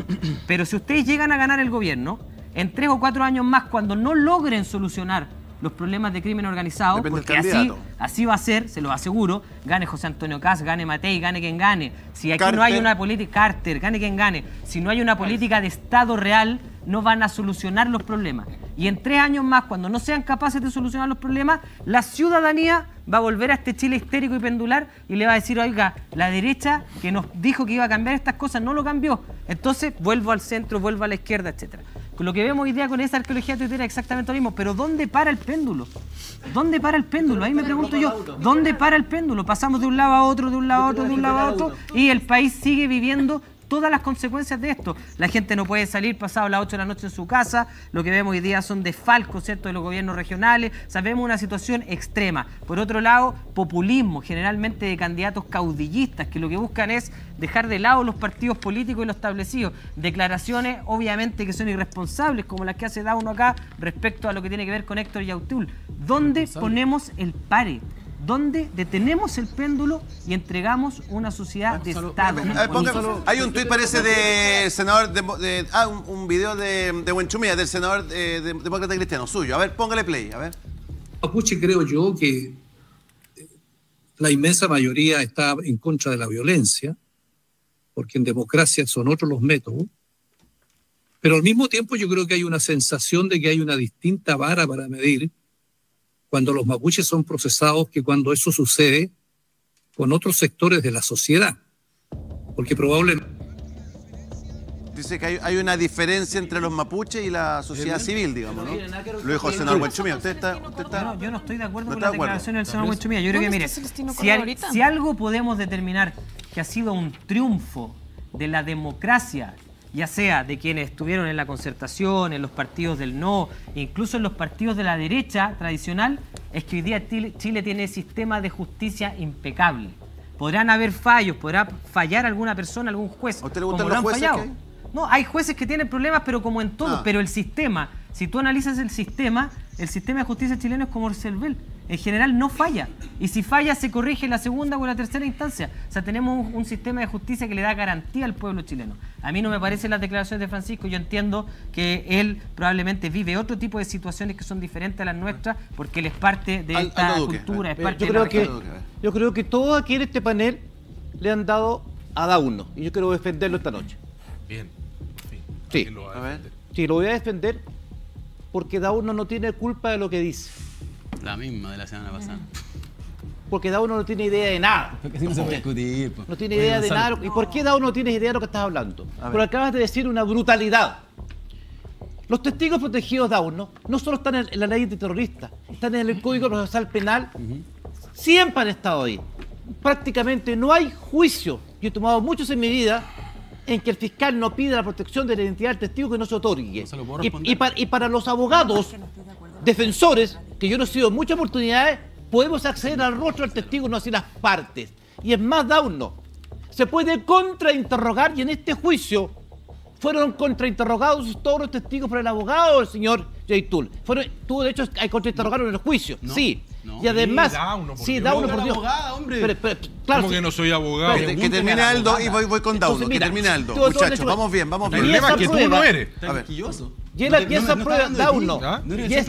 Y la prueba, Disparáis para acá, Y la prueba, da uno. Y la forma de producir la prueba se encuentra aprobada en la audiencia de preparación de juicio oral, APJO, audiencia de preparación de juicio oral, que es un tamiz en virtud del cual el juez de garantía dice cómo se va a producir la prueba. Por lo tanto, están todas las garantías para que eso ocurra. ¿Qué es un tamiz? Eh? Eh, es un sedazo ah, cual se pasa toda la prueba. Entonces, ese tamiz procesal, que se llama audiencia de preparación de juicio oral, permite que la prueba se produzca como se produce. Y esa audiencia Tauno contó con la presencia de la abogada de el señor Yaitul. Por lo tanto, está hablando de una cabeza de pescado. Es imposible. Y, además, te quiero decir una cosa. Te olvidas tú que el señor Yaitul, hace años atrás, fue detenido en una causa en que se le intentó perseguir con unos audios y unos videos truchamente conseguidos. ¿Te acuerdas? Operación Huracán. Operación Huracán. ¿Y sabes lo que pasó? ¿Qué hizo la justicia chilena? Lo absolvió porque era prueba ilícita mal conseguida. Entonces, esta misma justicia contra la cual tú criticas hoy día es la justicia que hace años atrás lo resolvió. Eh, da, uno, quiere responder, ¿no? Sí, quiero responder. O sea, tendría, me tendré que dar el resto del programa para responder a todos los que me han atacado, pero voy a, voy a, voy a ir voy a tratar de ser breve. Voy a, voy a, por eso. Lo de Aldo acaba de hacer un ataque que no corresponde. Sí, evidentemente. Mira, dice que Aldo lo atacó. Eh, sí, no, no voy a referirme a que digan. No me voy a referir. No me voy a referir a lo que decía Aldo, que no sé. Ciérreme la muela, Anda con nieve en la ionósfera, Aldo, que anda hablando barbaridades. Pero, no, mira, a mí eh, lo que me llama la atención es que del panel de acá, Nicolás Preus diga que yo digo irresponsabilidades, cuando al frente catalogan a diestra y siniestra terroristas de todo el mundo cuando el único condenado por terrorismo era un miembro de las policías que estaba infiltrado en organizaciones mapuche. Me llama la atención que me digan a mí dar declaración irresponsable cuando la señorita Cristina, si no me equivoco el nombre, eh, dice que la CAM está transitando hacia un eh, sistema parecido al de la FARC eh, mediante narcotráfico cuando no hay ninguna prueba de aquello. Me llama la atención que yo soy el que dice declaración irresponsable cuando Mara Cedini habla de que matan mapuches porque no entran a las organizaciones que los dirigentes mapuches desean una sarta de mentiras e irresponsabilidades que pronunciaron al frente, porque ahí están las irresponsabilidades. Yo me referí al juicio. Y en este juicio se metió preso a un dirigente mapuche por sus declaraciones. Y ahora, quiero insistir en un punto. Porque pueden, pueden, alegar, pueden alegar por el tema de la violencia, qué sé yo. Pero lo que hacen siempre oídos sordos es que lo que decía Guanchumilla es verdad. Evidentemente la justicia se ensaña contra, contra primero los dirigentes mapuche y las comunidades mapuche. Porque ¿qué pasó con los responsables de la operación Huracán? ¿Hay alguno preso? ¿Alguno terminó pagando? ¿Qué pasó con aquellos que fueron a desalojar con palos y piedras las municipalidades tomadas por comunidades mapuche y que los amenazaron con matarlo? ¿Hubo algún condenado? ¿Qué pasó con los asesinos de Alex Lemun, con los asesinos de Jaime Mendoza Collillo, con los asesinos de Matías Catrileo, con los asesinos de Camilo Catrillanca? ¿Qué pasó con los policías que flagrantemente violaron los derechos de los niños y niñas mapuche en las comunidades de? ¿Por qué no hay justicia en esos casos? y después, después es fácil venir y celebrar este tipo de sentencias porque la justicia evidentemente se utiliza porque responde a intereses y presiones políticas tanto de los sectores económicos como de los sectores de la política tradicional. Es fácil desde la televisión decir tonteras como el tema del terrorismo del narcotráfico, porque lo único que hacen es criminalizar a las organizaciones mapuche y eso, y eso ha sido, lo ha hecho la derecha, lo ha hecho la concertación y ahora el gobierno de Gabriel Boric repite la misma receta. Ninguno de nosotros ha dicho que son organizaciones mapuches, empezando por ahí. La estamos hablando, de, estamos hablando de un terrorista que se llama Héctor Yaitul. Tú dijiste que la CAM estaba transitando el narcotráfico. Por supuesto, está, está recibiendo capacitaciones desde el 2008. Hermano, pero las pruebas están en, en todo lado. Si dame, una prueba, dame una prueba, yo te, yo te doy Te entrego, te entrego los correos de Raúl Reyes en el 2008. Yo te voy a dar un dato para desmentir esa farsa del narcoterrorismo. A ver, Juan Brito, yo te, Juan Brito, Juan Brito, yo te entrego los correos del 2008, no te preocupes, aquí te los voy a leer, Juan Brito. Al día siguiente encontraron 3.000 en Zapallar. Mira, en la capital, en, los tres, en el sector oriente de la capital, los decomisos de cocaína son del 34 kilos de cocaína por cada 100.000 habitantes versus los 22, versus 22 kilos en la Araucanía. Entonces, aquí hay una farsa, se inventa una historia de que la CAMA, organizaciones mapuche, son narcotraficantes, pero no tienen datos. A ver, Juan Pablo Reaza, Juan Pablo Reaza. con una farsa. Vamos de nuevo, vamos de nuevo. ¿Quién mató a esos carabineros? Gabriel Emparte. Porque lo que pasa es que ustedes utilizan una tragedia para hacer política. porque no les interesa lo que pasó. Un asesinato. Porque, porque, tragedia es lo que pasa ¿quién, quién, quién Porque fácil, mira, vimos, vimos durante esos días como la, la tercera decía que había sido la UAM. Bio Bio decía que era RML. Acá sin filtro decían que era la CAM. Y nada se probó. Y de hecho, todas las hipótesis centrales de la Fiscalía, al parecer, apuntan a organizaciones de crimen organizado que nada tienen que ver con las organizaciones mapuche ni la causa mapuche. Pero como ocurrió en territorio mapuche, Gabriel Alemparte lo utiliza para criminalizar organizaciones mapuche. Entonces, hay que mirar con un poquito más de, profundidad en las declaraciones y cómo utilizan estas cosas para seguir criminalizando una lucha histórica que con CAM o sin CAM va a seguir existiendo, porque la violencia viene del Estado chileno, de las forestales y también de grupos paramilitares de derecha que se organizan para atacar a las organizaciones mapuche. Ah, eh, Juan Pablo Arriaza. Ahora yo voy a decir una cosa. Perdona, Arriaza, te pido un segundito, un segundito, Arriaza. Uno, ahí está. Mira, te voy a pedir 10 segundos.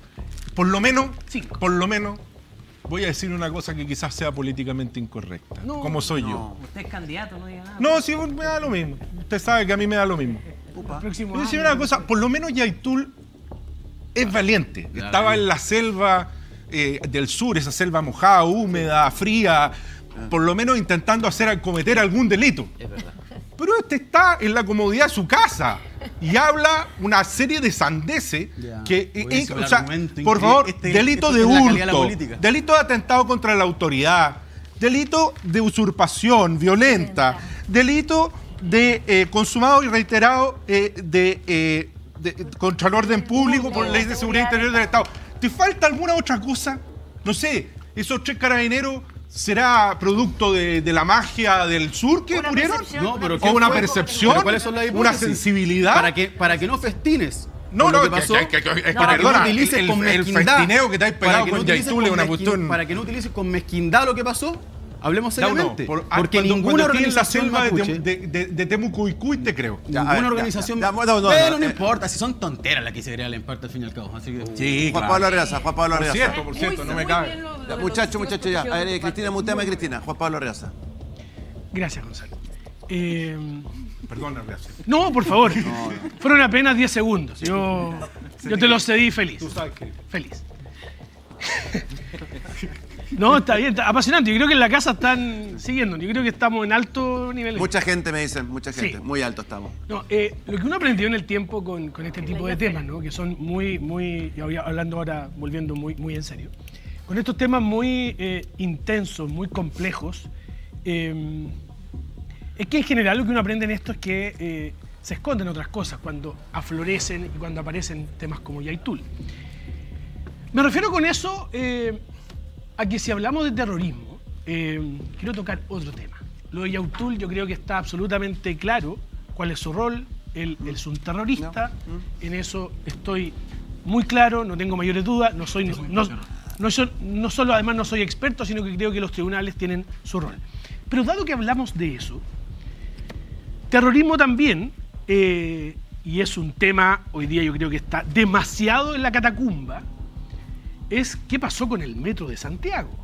Octubre de 2019, ya que a mis compañeros, compañeras de la derechita les encanta tanto el octubrismo, y como suelen decir acá habitualmente, que el octubrismo, que el octubrismo, bueno, octubrismo rima con terrorismo. Y ese terrorismo fue cometido por quienes dañaron, quemaron, atentaron contra el metro de Santiago. No se sabe nada. Ninguna de las causas, salvo la de la estación Los Quillayes, está activa, está vigente. Todas las demás cerradas, absolutamente. Y cerradas de manera bastante extraña.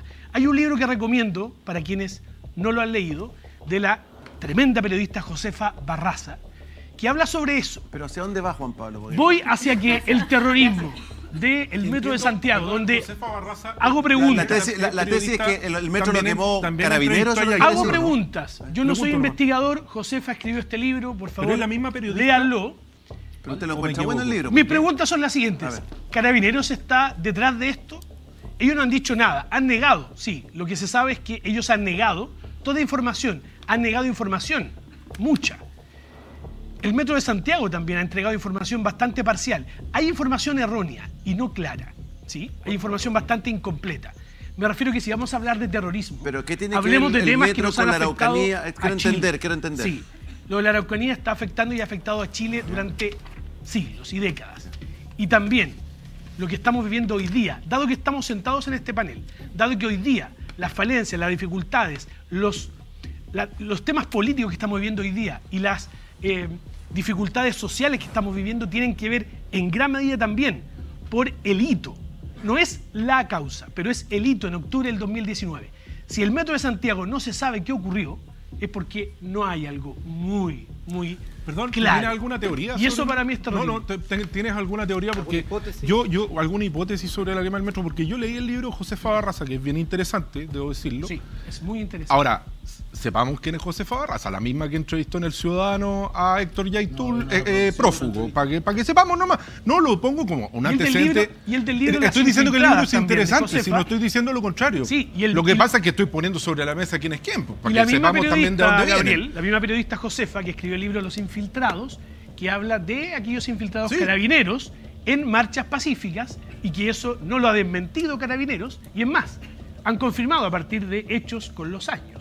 Pero espérate, sobre ese Estamos hablando de esa pregunta, es decir, si la pregunta no es la periodista, la periodista yo estaba agregando un dato, nada más.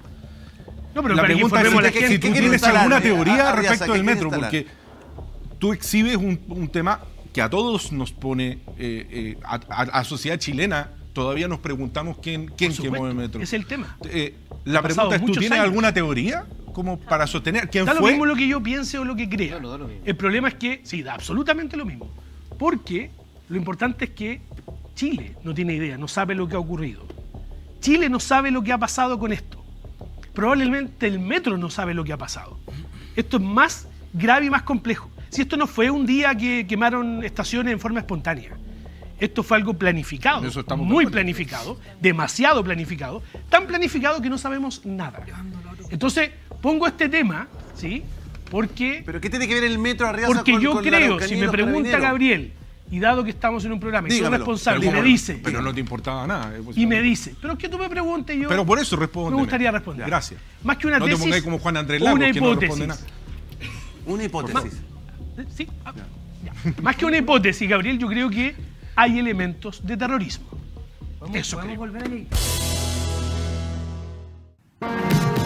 Entra a latamwin.online, la mejor plataforma de juego que te regala un bono de bienvenida de 5 mil pesos para jugar sin depósito previo ni letra chica. Además, te bonifica al 100% tu primer depósito hasta 100 mil. Con LatamWin multiplicas tus opciones de ganar. ¿Estás listo para una experiencia de juego a otro nivel? Regístrate ya y accede a toda la entretención que Latam Win tiene para ti y disfruta de un juego seguro. Latam Win, sabes, apuestas, ganas. ¿Tu software ERP te tiene como un empresario? Evoluciona con Defontana. ¿Cómo va tu pyme, campeón? ¿Y la proyección de stock? ¿Te estás adelantando al comportamiento de clientes? Con la IA de Defontana puedes obtener predicciones precisas de tu negocio, anticiparte al comportamiento de tus clientes y tener un inventario inteligente. O sea, proyectar tu stock y comprar lo justo y necesario.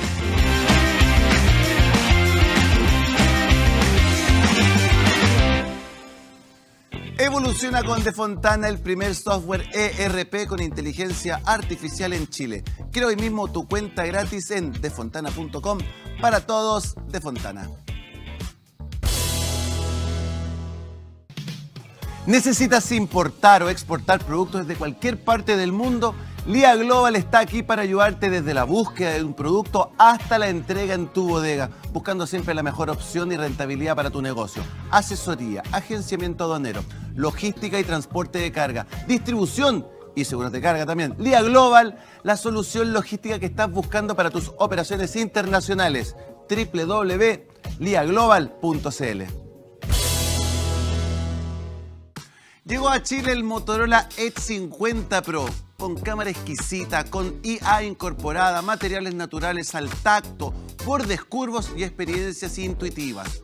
Unión de arte y tecnología con resistencia al agua. Y notición. Remesón al mercado Motorola Edge 50 Pro a solo 599.990 pesos. Y lo puedes pagar hasta en 12 cuotas de 49.999 pesos directo en motorola.cl. Y si metes código sin filtro, te lo llevas con un descuento especial. Motorola Edge 50 Pro de primer nivel. Más que un teléfono, muchachos, es una verdadera obra de arte. Boric y debate por iniciativa de RUF en nuestro gobierno no se va a volver a tener tribunales militares. Esa, esa es la primera cuña que, mete el presidente de la República. Y a propósito de militares, Yáñez con fecha de salida, forzado cambio del director de la PDI y general Iturriaga en la mira, la remesida interna en las policías y el ejército, en plena crisis de seguridad, muchachos, en plena crisis de seguridad. No tenemos director de la PDI, no vamos a tener el de carabinero y no vamos. O sea, tenemos. Vamos a nombrar al titular, el sí. A ver, eh, ¿Se Sí, mira, acá hay varias reflexiones que hacer. Primero, ha pasado harto programa entre medio, pero a mí me parece que las declaraciones del, del diputado Araya son muy acertadas, digamos. Yo creo que eh, este es el minuto de empezar a tomarse la política en serio y a no pedir renuncias de comandante en jefe. Entonces, vinculándolo con eso y con, con esta, esta, esta arremetida de la izquierda revolucionaria, de decir, eh, oye, ustedes la derecha que defienden al ejército, no. A ver, yo, yo quiero decirle a la izquierda que, si no me equivoco, el que gobierna es un gobierno de izquierda con un presidente que se declaró estar a la izquierda del Partido Comunista. Entonces, perdona, pero puedo, perdona, pero puedo terminar. Entonces yo entiendo que los que tienen el control del ejército son los mismos que están criticando al ejército, digamos. Entonces partamos por ahí. A, eh, quiero decirle que el general Iturriaga a mí no me va ni me viene, digamos. Yo, si lo quiere dar de baja el presidente, que lo dé de baja. Pero ¿por qué eh, eh, apuntan a la derecha? ¿Qué tiene que ver la derecha con, el, con la muerte del, del conscripto en Putre? Primera cosa. Segunda cosa, lo de los tribunales militares. Ya le dije al presidente que agarre el código orgánico tribunal, después hay el código de justicia militar y ahí va a encontrar a los, tribunales militares, digamos. que están, que están, claro, que funcionan además también en tiempo de paz. Yo de todo lo que dijo el diputado Araya, que me parece todo muy sensato, eh, francamente, solo hay una cosa que discrepo de ti, Jaime, que es decir que la justicia militar sea parcial. Eso es una acusación grave, me parece que puede pasar dentro de la retórica, digamos, pero no es así. Eh, la justicia militar hoy día no tiene nada que ver con la justicia militar del régimen militar. ¿ah? Y acá hay gente que está tratando, bajo el argumento político de que no podemos volver a los tiempos de la dictadura, está tratando de borrar con el codo todo lo que hizo con la mano. Si acá han pasado 30 años de reforma de la justicia militar. Y la justicia militar está formada por civiles. Entonces, de verdad, y con esto termino, tomémonos este debate en serio tomémonos este debate en serio. O sea, si queremos hacer buena política, si queremos además dar soluciones concretas a la gente, tomémonos el debate en serio y en eso sí yo me pliego a las palabras de Jaime Araya. Eh, diputado Araya. No, yo, respecto al tema justicia militar, porque de verdad a mí a veces el presidente de la República me confunde, porque sale para allá, sale para acá. No, es el único. Yo en esto trato de ser bastante claro. Yo tengo, no me gusta la justicia militar, no es un tema de gusto en realidad. Mi problema con la justicia militar es que el, que es un tema de verticalidad. O sea, que él lo designa comandante en jefe. Entonces es raro que alguien que está abajo mira para arriba y dice, ¿para dónde voy? Entonces, ¿qué es lo que yo digo? Yo no tengo problema en que haya justicia militar especializada, porque esto no es especializado. Que efectivamente pueda ser una justicia aparte que tenga competencia para juzgar militares. Especializada, como familia. Es, una reforma que hay que hablar en serio. Y de verdad, yo, más allá del tema justicia militar, que es muy el titular de la tercera describe perfectamente. Si uno le pega a ese titular la foto, y si lo puede hacer en la producción, Gonzalo, un desafío, peguen la foto del auto de Antofagasta. La foto del auto de Antofagasta con esto es de sentido común que nosotros tenemos que fortalecer a estas personas. Entonces es profundamente irresponsable que alguien salga a decir livianamente que todos los militares son corruptos, que hay que echar al comandante en jefe de la fuerza, porque esa es la imagen. Y la gente que sufre no son los que estamos sentados acá en el panel, no son los que están sentados en el Congreso, es la gente modesta, la gente pobre la que sufre con esas imágenes porque ellos no tienen la posibilidad de tener cámara en sus casas, no tienen capacidad de tener guardia en sus barrios, no tienen capacidad ni de tener vigilancia municipal. Esa es la realidad de lo que vimos en el norte. Esa imagen es brutal y hay gente que quiere jugar aquí, hacer los puntos políticos, el preciosismo, la moralidad, nuevamente para juzgar livianamente. Cuidemos la institucionalidad. Si es muy fácil estar sentado acá y dar discursos y decir, mira aquí los derechos humanos es, no hay nada más torpe porque la gente hoy día odia a los derechos humanos. Hay gente que dice hay que salirse de las Naciones Unidas. Hay gente que retroceder en cosas básicas producto de la niñería de algunos que empiezan a jugar en momentos de crisis porque esa es la imagen de mi ciudad, esa es la imagen del norte y quienes nosotros le pedimos que se integren a las labores, ¿cuáles son? Las Fuerzas Armadas. Entonces, ¿con qué cara? ¿Los quiero desarmar para quedar bien con la gente que se sube al scooter y llega al centro de Santiago a hacer política? Yo no. Yo soy responsable porque conozco la realidad de la gente que se levanta a las 5 de la mañana, a las 6 de la mañana a trabajar, que trabaja todo el día. Muchos de ellos llegan en las noches, ni siquiera van a sus hijos, para fin de mes tener un sueldo de 500 mil pesos. Esa gente lo único que necesita es seguridad. ¿Quién se la puede dar? Una institucionalidad fuerte donde las Fuerzas Armadas se sumen. Tenemos distancias políticas sin duda y tenemos miradas políticas sin duda, pero ¿de qué sirve esa diferencia frente a esa imagen brutal? Entonces yo en esto pido por favor sensatez sensatez. Y si debemos resolver el tema justicia militar, ahí hay un debate que se puede hacer académicamente. Ley antiterrorista es complejo de resolver. Aquí lo que no se necesita retórica. Y lo que uno puede decirle a la gente de oposición es decirle, no usen estos temas para golpear reiteradamente al gobierno porque ya el gobierno se golpea solo. Mervi, eh, yo agradezco lo que plantea Jaime, que es algo muy serio. Y cuando se está hablando de algo serio, la gente se pone seria. Y yo quiero aquí plantear que realmente eh, aquí Francisco se le pasaron los tejos, porque mientras tú decías este drama, él no solo se reía, su odio es tan profundo, su insensatez es tan inconmensurable en tamaño, que no hay argumento que de su boca pueda tener un asidero. O sea, yo creo que realmente aquí estamos en un problema porque Francisco es un hombre asistémico, que nunca va a buscar una solución porque, es más, van a las urnas, no ganan ni uno, nos han tenido de rodillas porque son 2.000 infelices, y lo digo, infelices, personas poco felices, que siempre están mirando los del frente para fregárselo. O sea, realmente, entre Dauno, Francisco y Fabián son una cosa que es realmente impresentable, y yo sé que ustedes en el chat me están apoyando porque así como yo ahora no podía creer que estamos hablando del drama país, estamos hablando de una crisis de seguridad y que es un momento poco sensato, que cualquier persona con un dedo de frente pero él no tiene ni un dedo de frente, porque lo único que se preocupa es de ir a la barbería, probablemente por alguna razón, porque solo aquellos que no quieren ordenar el país son aquellos que les gustan tanto las barberías. Hay más barberías que barbas en este país. Por lo visto, Francisco se preocupa de ir a la propia. La verdad es que esto es impresentable y yo quiero que todos los que están escuchando ahora en el chat, por favor pongan un like aquí fuerte, porque de verdad no da para más. Estos anarquistas de macetero, pero que nos han tenido de rodillas, que no sacan ni un voto porque no tienen ni un representante, se creen la voz de Chile.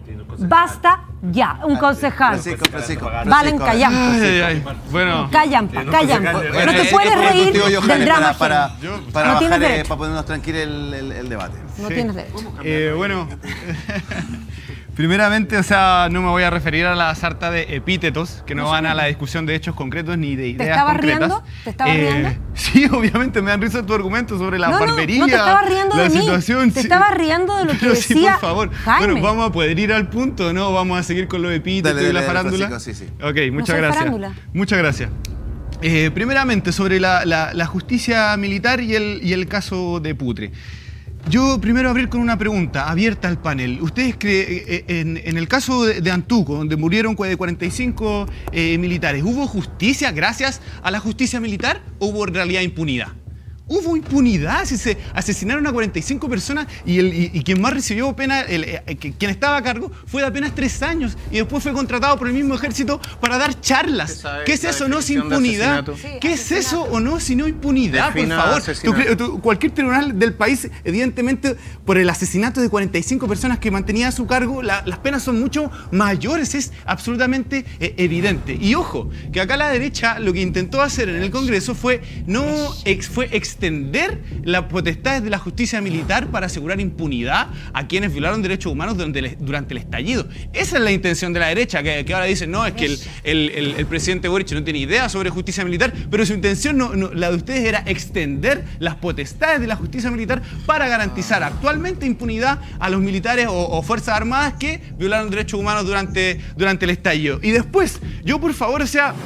Acá yo jamás hablé de, de Iturrieta, la salida de, de Iturrieta, por favor, sino que refiera, Iturriaga, perdón, Iturriaga, a- refiéranse a hechos si lo concretos, sabe. refiéranse a hechos concretos. Este mismo general eh, de- sacó de su cargo, los mandó a retiro a los dos responsables que estaban Él en no Putre. puede mandar a Si nadie a no, si- retiro. y fue porque mintieron, si él mismo lo dijo, mintieron. Se organizaron, se coludieron y la información oficial que le entregó al ejército fue mentira. Dijeron que había llegado con vida este con Cristo ¿Puedes al CEFAM y fue desmentido por los mismos trabajadores?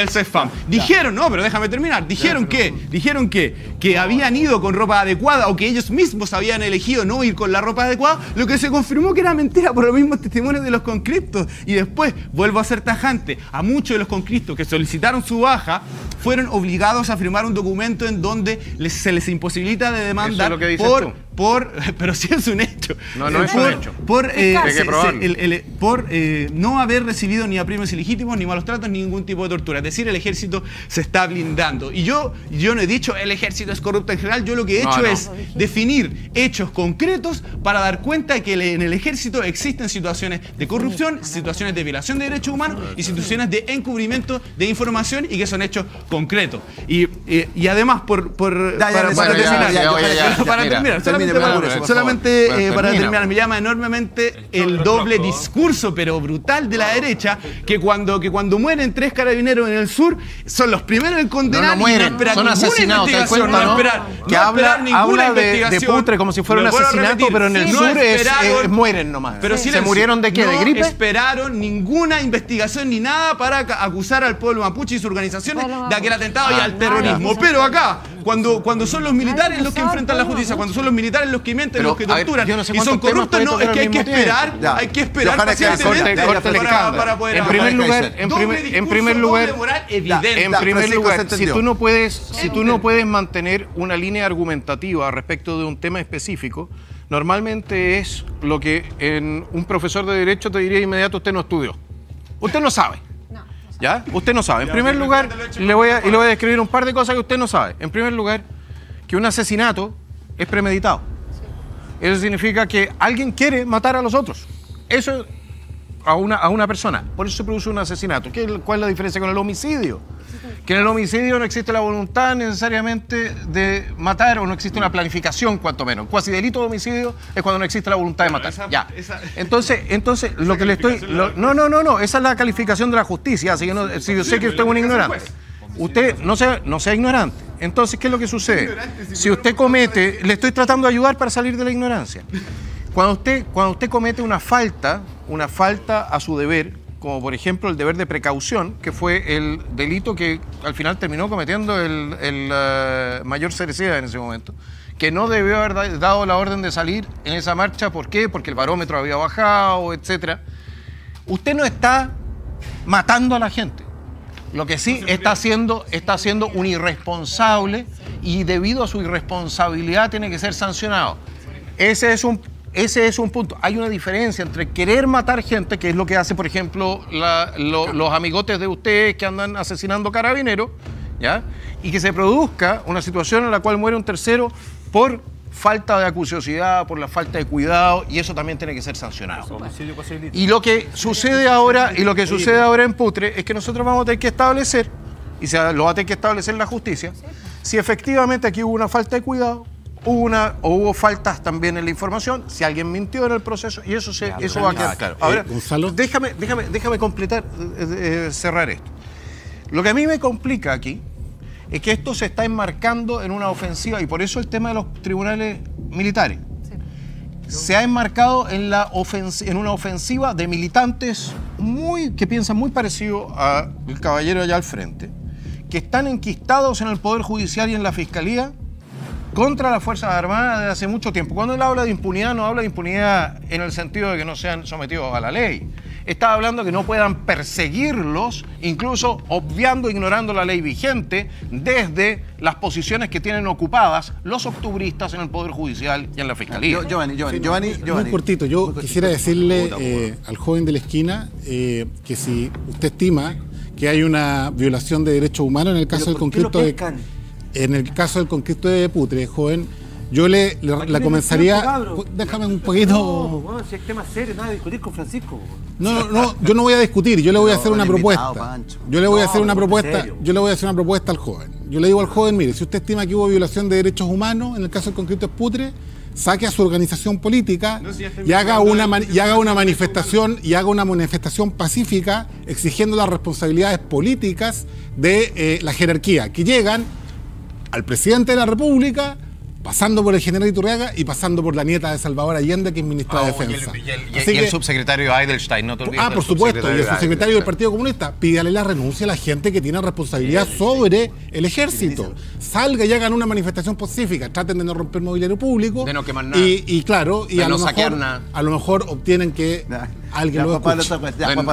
de, no tirarle bombas molotov para carabineros. Muchachos, necesito que todos hablen. Yo bien breve. Yo creo que... Eh, es bien difícil acá eh, creer que esto se trata de o estar a favor o estar en contra del ejército. Me, parece que esa es, un binomio inexistente en la realidad, cuando uno baja la cuestión a tierra, sin, sin ir más lejos. Yo tengo un tío que es suboficial de la, de la Fuerza Aérea, le mando un saludo al tío Daniel de pasada, eh, y creo que efectivamente cuando uno ve este tipo de casos tan terribles, yo, para mí no puede pasar desapercibido que 50 conscriptos hayan decidido abandonar cierto, la, instrucción militar, me parece que es un problema, primero de seguridad nacional, pero segundo también un problema humano, ¿no? Veía recién que uno de los conscriptos tuvieron que hoy día amputarle la mano. O sea, me parece que nadie, nadie puede creer acá que esto se trata de buenos y malos. Acá hay familias detrás que están sufriendo, quienes hemos seguido desde la, apariencia al menos estas causas, eh, nos parece bien grave, preocupante y dolorosa la situación que están viviendo las familias. Ya el general Iturriaga eh, efectivamente no tiene la autoridad para dar de baja, le solicitó al comandante, al, máximo, ¿cierto? Que en este caso el presidente de la República, que dé de baja eh, a los responsables políticos, digámoslo así, directos de esta situación, porque no solo los delitos se cometen por acción, sino que también se cometen por omisión, ¿no? Cuando uno omite eh, asegurar ciertas garantías o cierta seguridad de quienes tiene bajo su control. Eso respecto a este caso en particular. Ahora, respecto al tema de los tribunales militares, yo comparto acá con el diputado, me parece que Nuevamente, no se trata de decir todo el poder a los civiles, todo el poder a los militares en, esta, eh, en este binomio que es inexistente en la realidad.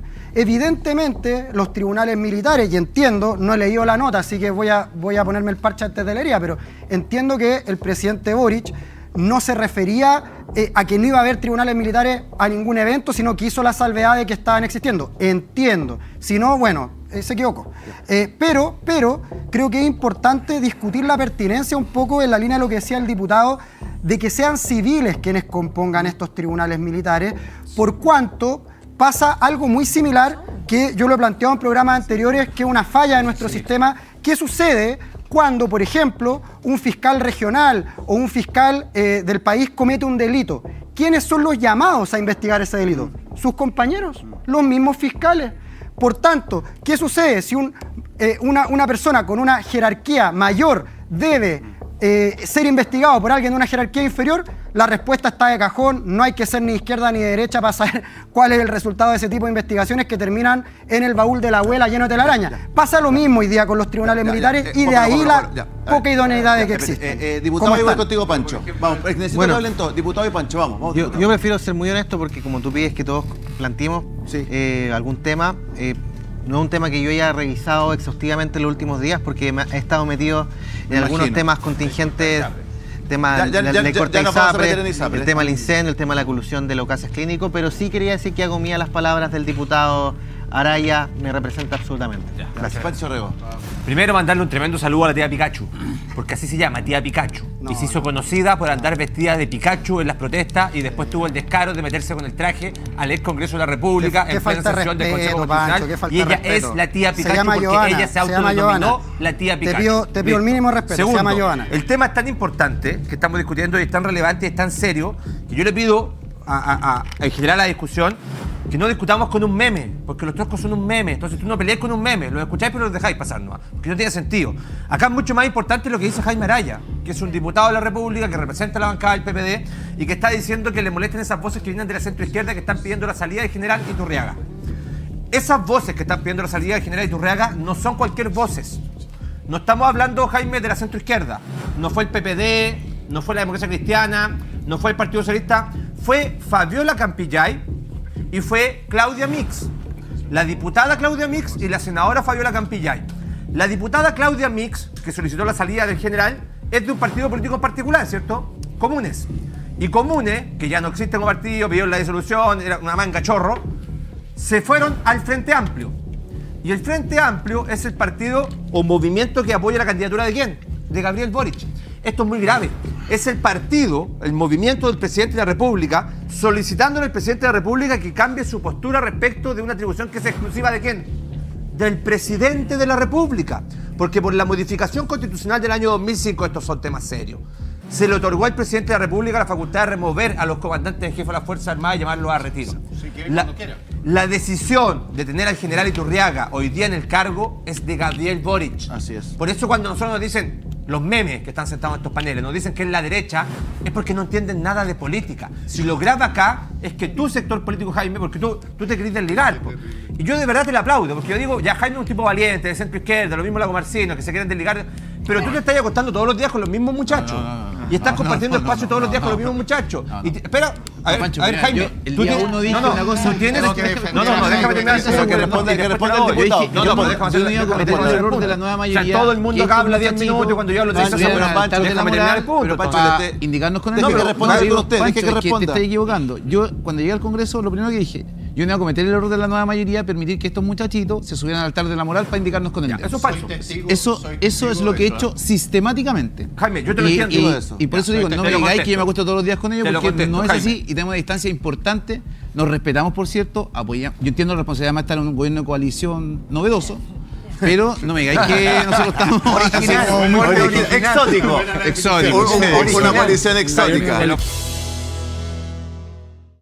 Gobierno hace concesiones y logra aprobar ley corta de ISAPRES en comisión mixta del Congreso. A ver, diputado Araya, usted dice este, este, los delincuentes de cuello y corbata. Puedo explicar es sencillo de mi perspectiva. Yo no soy de la comisión como Tomás ni tengo el conocimiento que él tiene, pero es muy sencillo. Durante años las ISAPRES le robaron a sus cotizantes.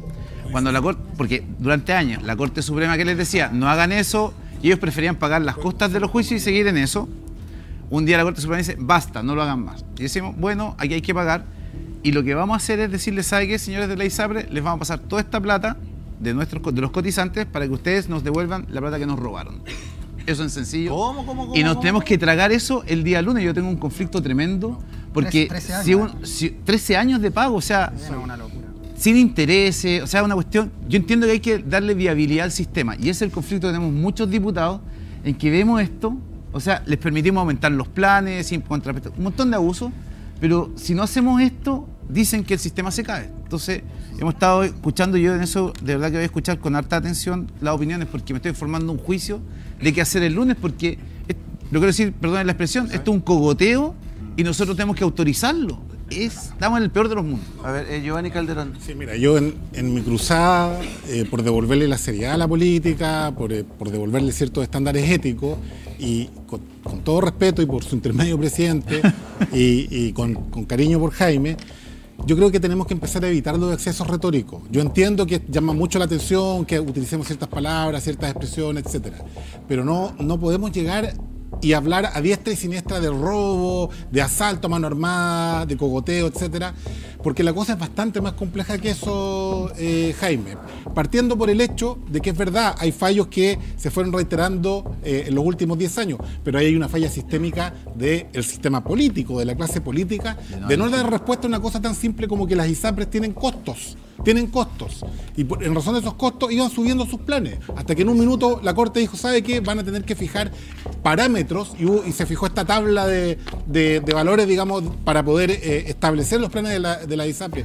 Y finalmente la, Corte Suprema dijo, ¿sabe que vamos a aplicar esto retroactivamente? Retroactivamente. Y lo vamos a aplicar, como decimos los abogados, erga omnes, para todos, a pesar de que acá los demandantes son 4, 5, 10 o 100 personas.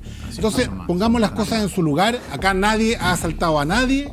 Eh, hay una deuda establecida judicialmente respecto de la ISAPRE y esa deuda. Pero esa deuda la vamos a pagar y los esa deuda, no. Y esa deuda, en la forma, y esa deuda, en la, forma que, eh, que planteaba el gobierno resolverla, quebraba el sistema. Entonces, déjame, déjame, porque esto requiere un poquito más de análisis. Primero, yo que ustedes, señores políticos formales, que están, digamos, que tienen el cargo de, diputado, me felicitaría de, por primera vez en dos años de este gobierno, haberse tomado en serio un tema y estar tratando de sacar adelante un problema que de lo contrario puede significar hasta la caída del gobierno, no estoy exagerando. Se, cae, se acaba la ISAPRE, va todo el mundo a FONASA, hoy día hay más de dos millones de chilenos en lista de espera. Entonces yo me felicitaría.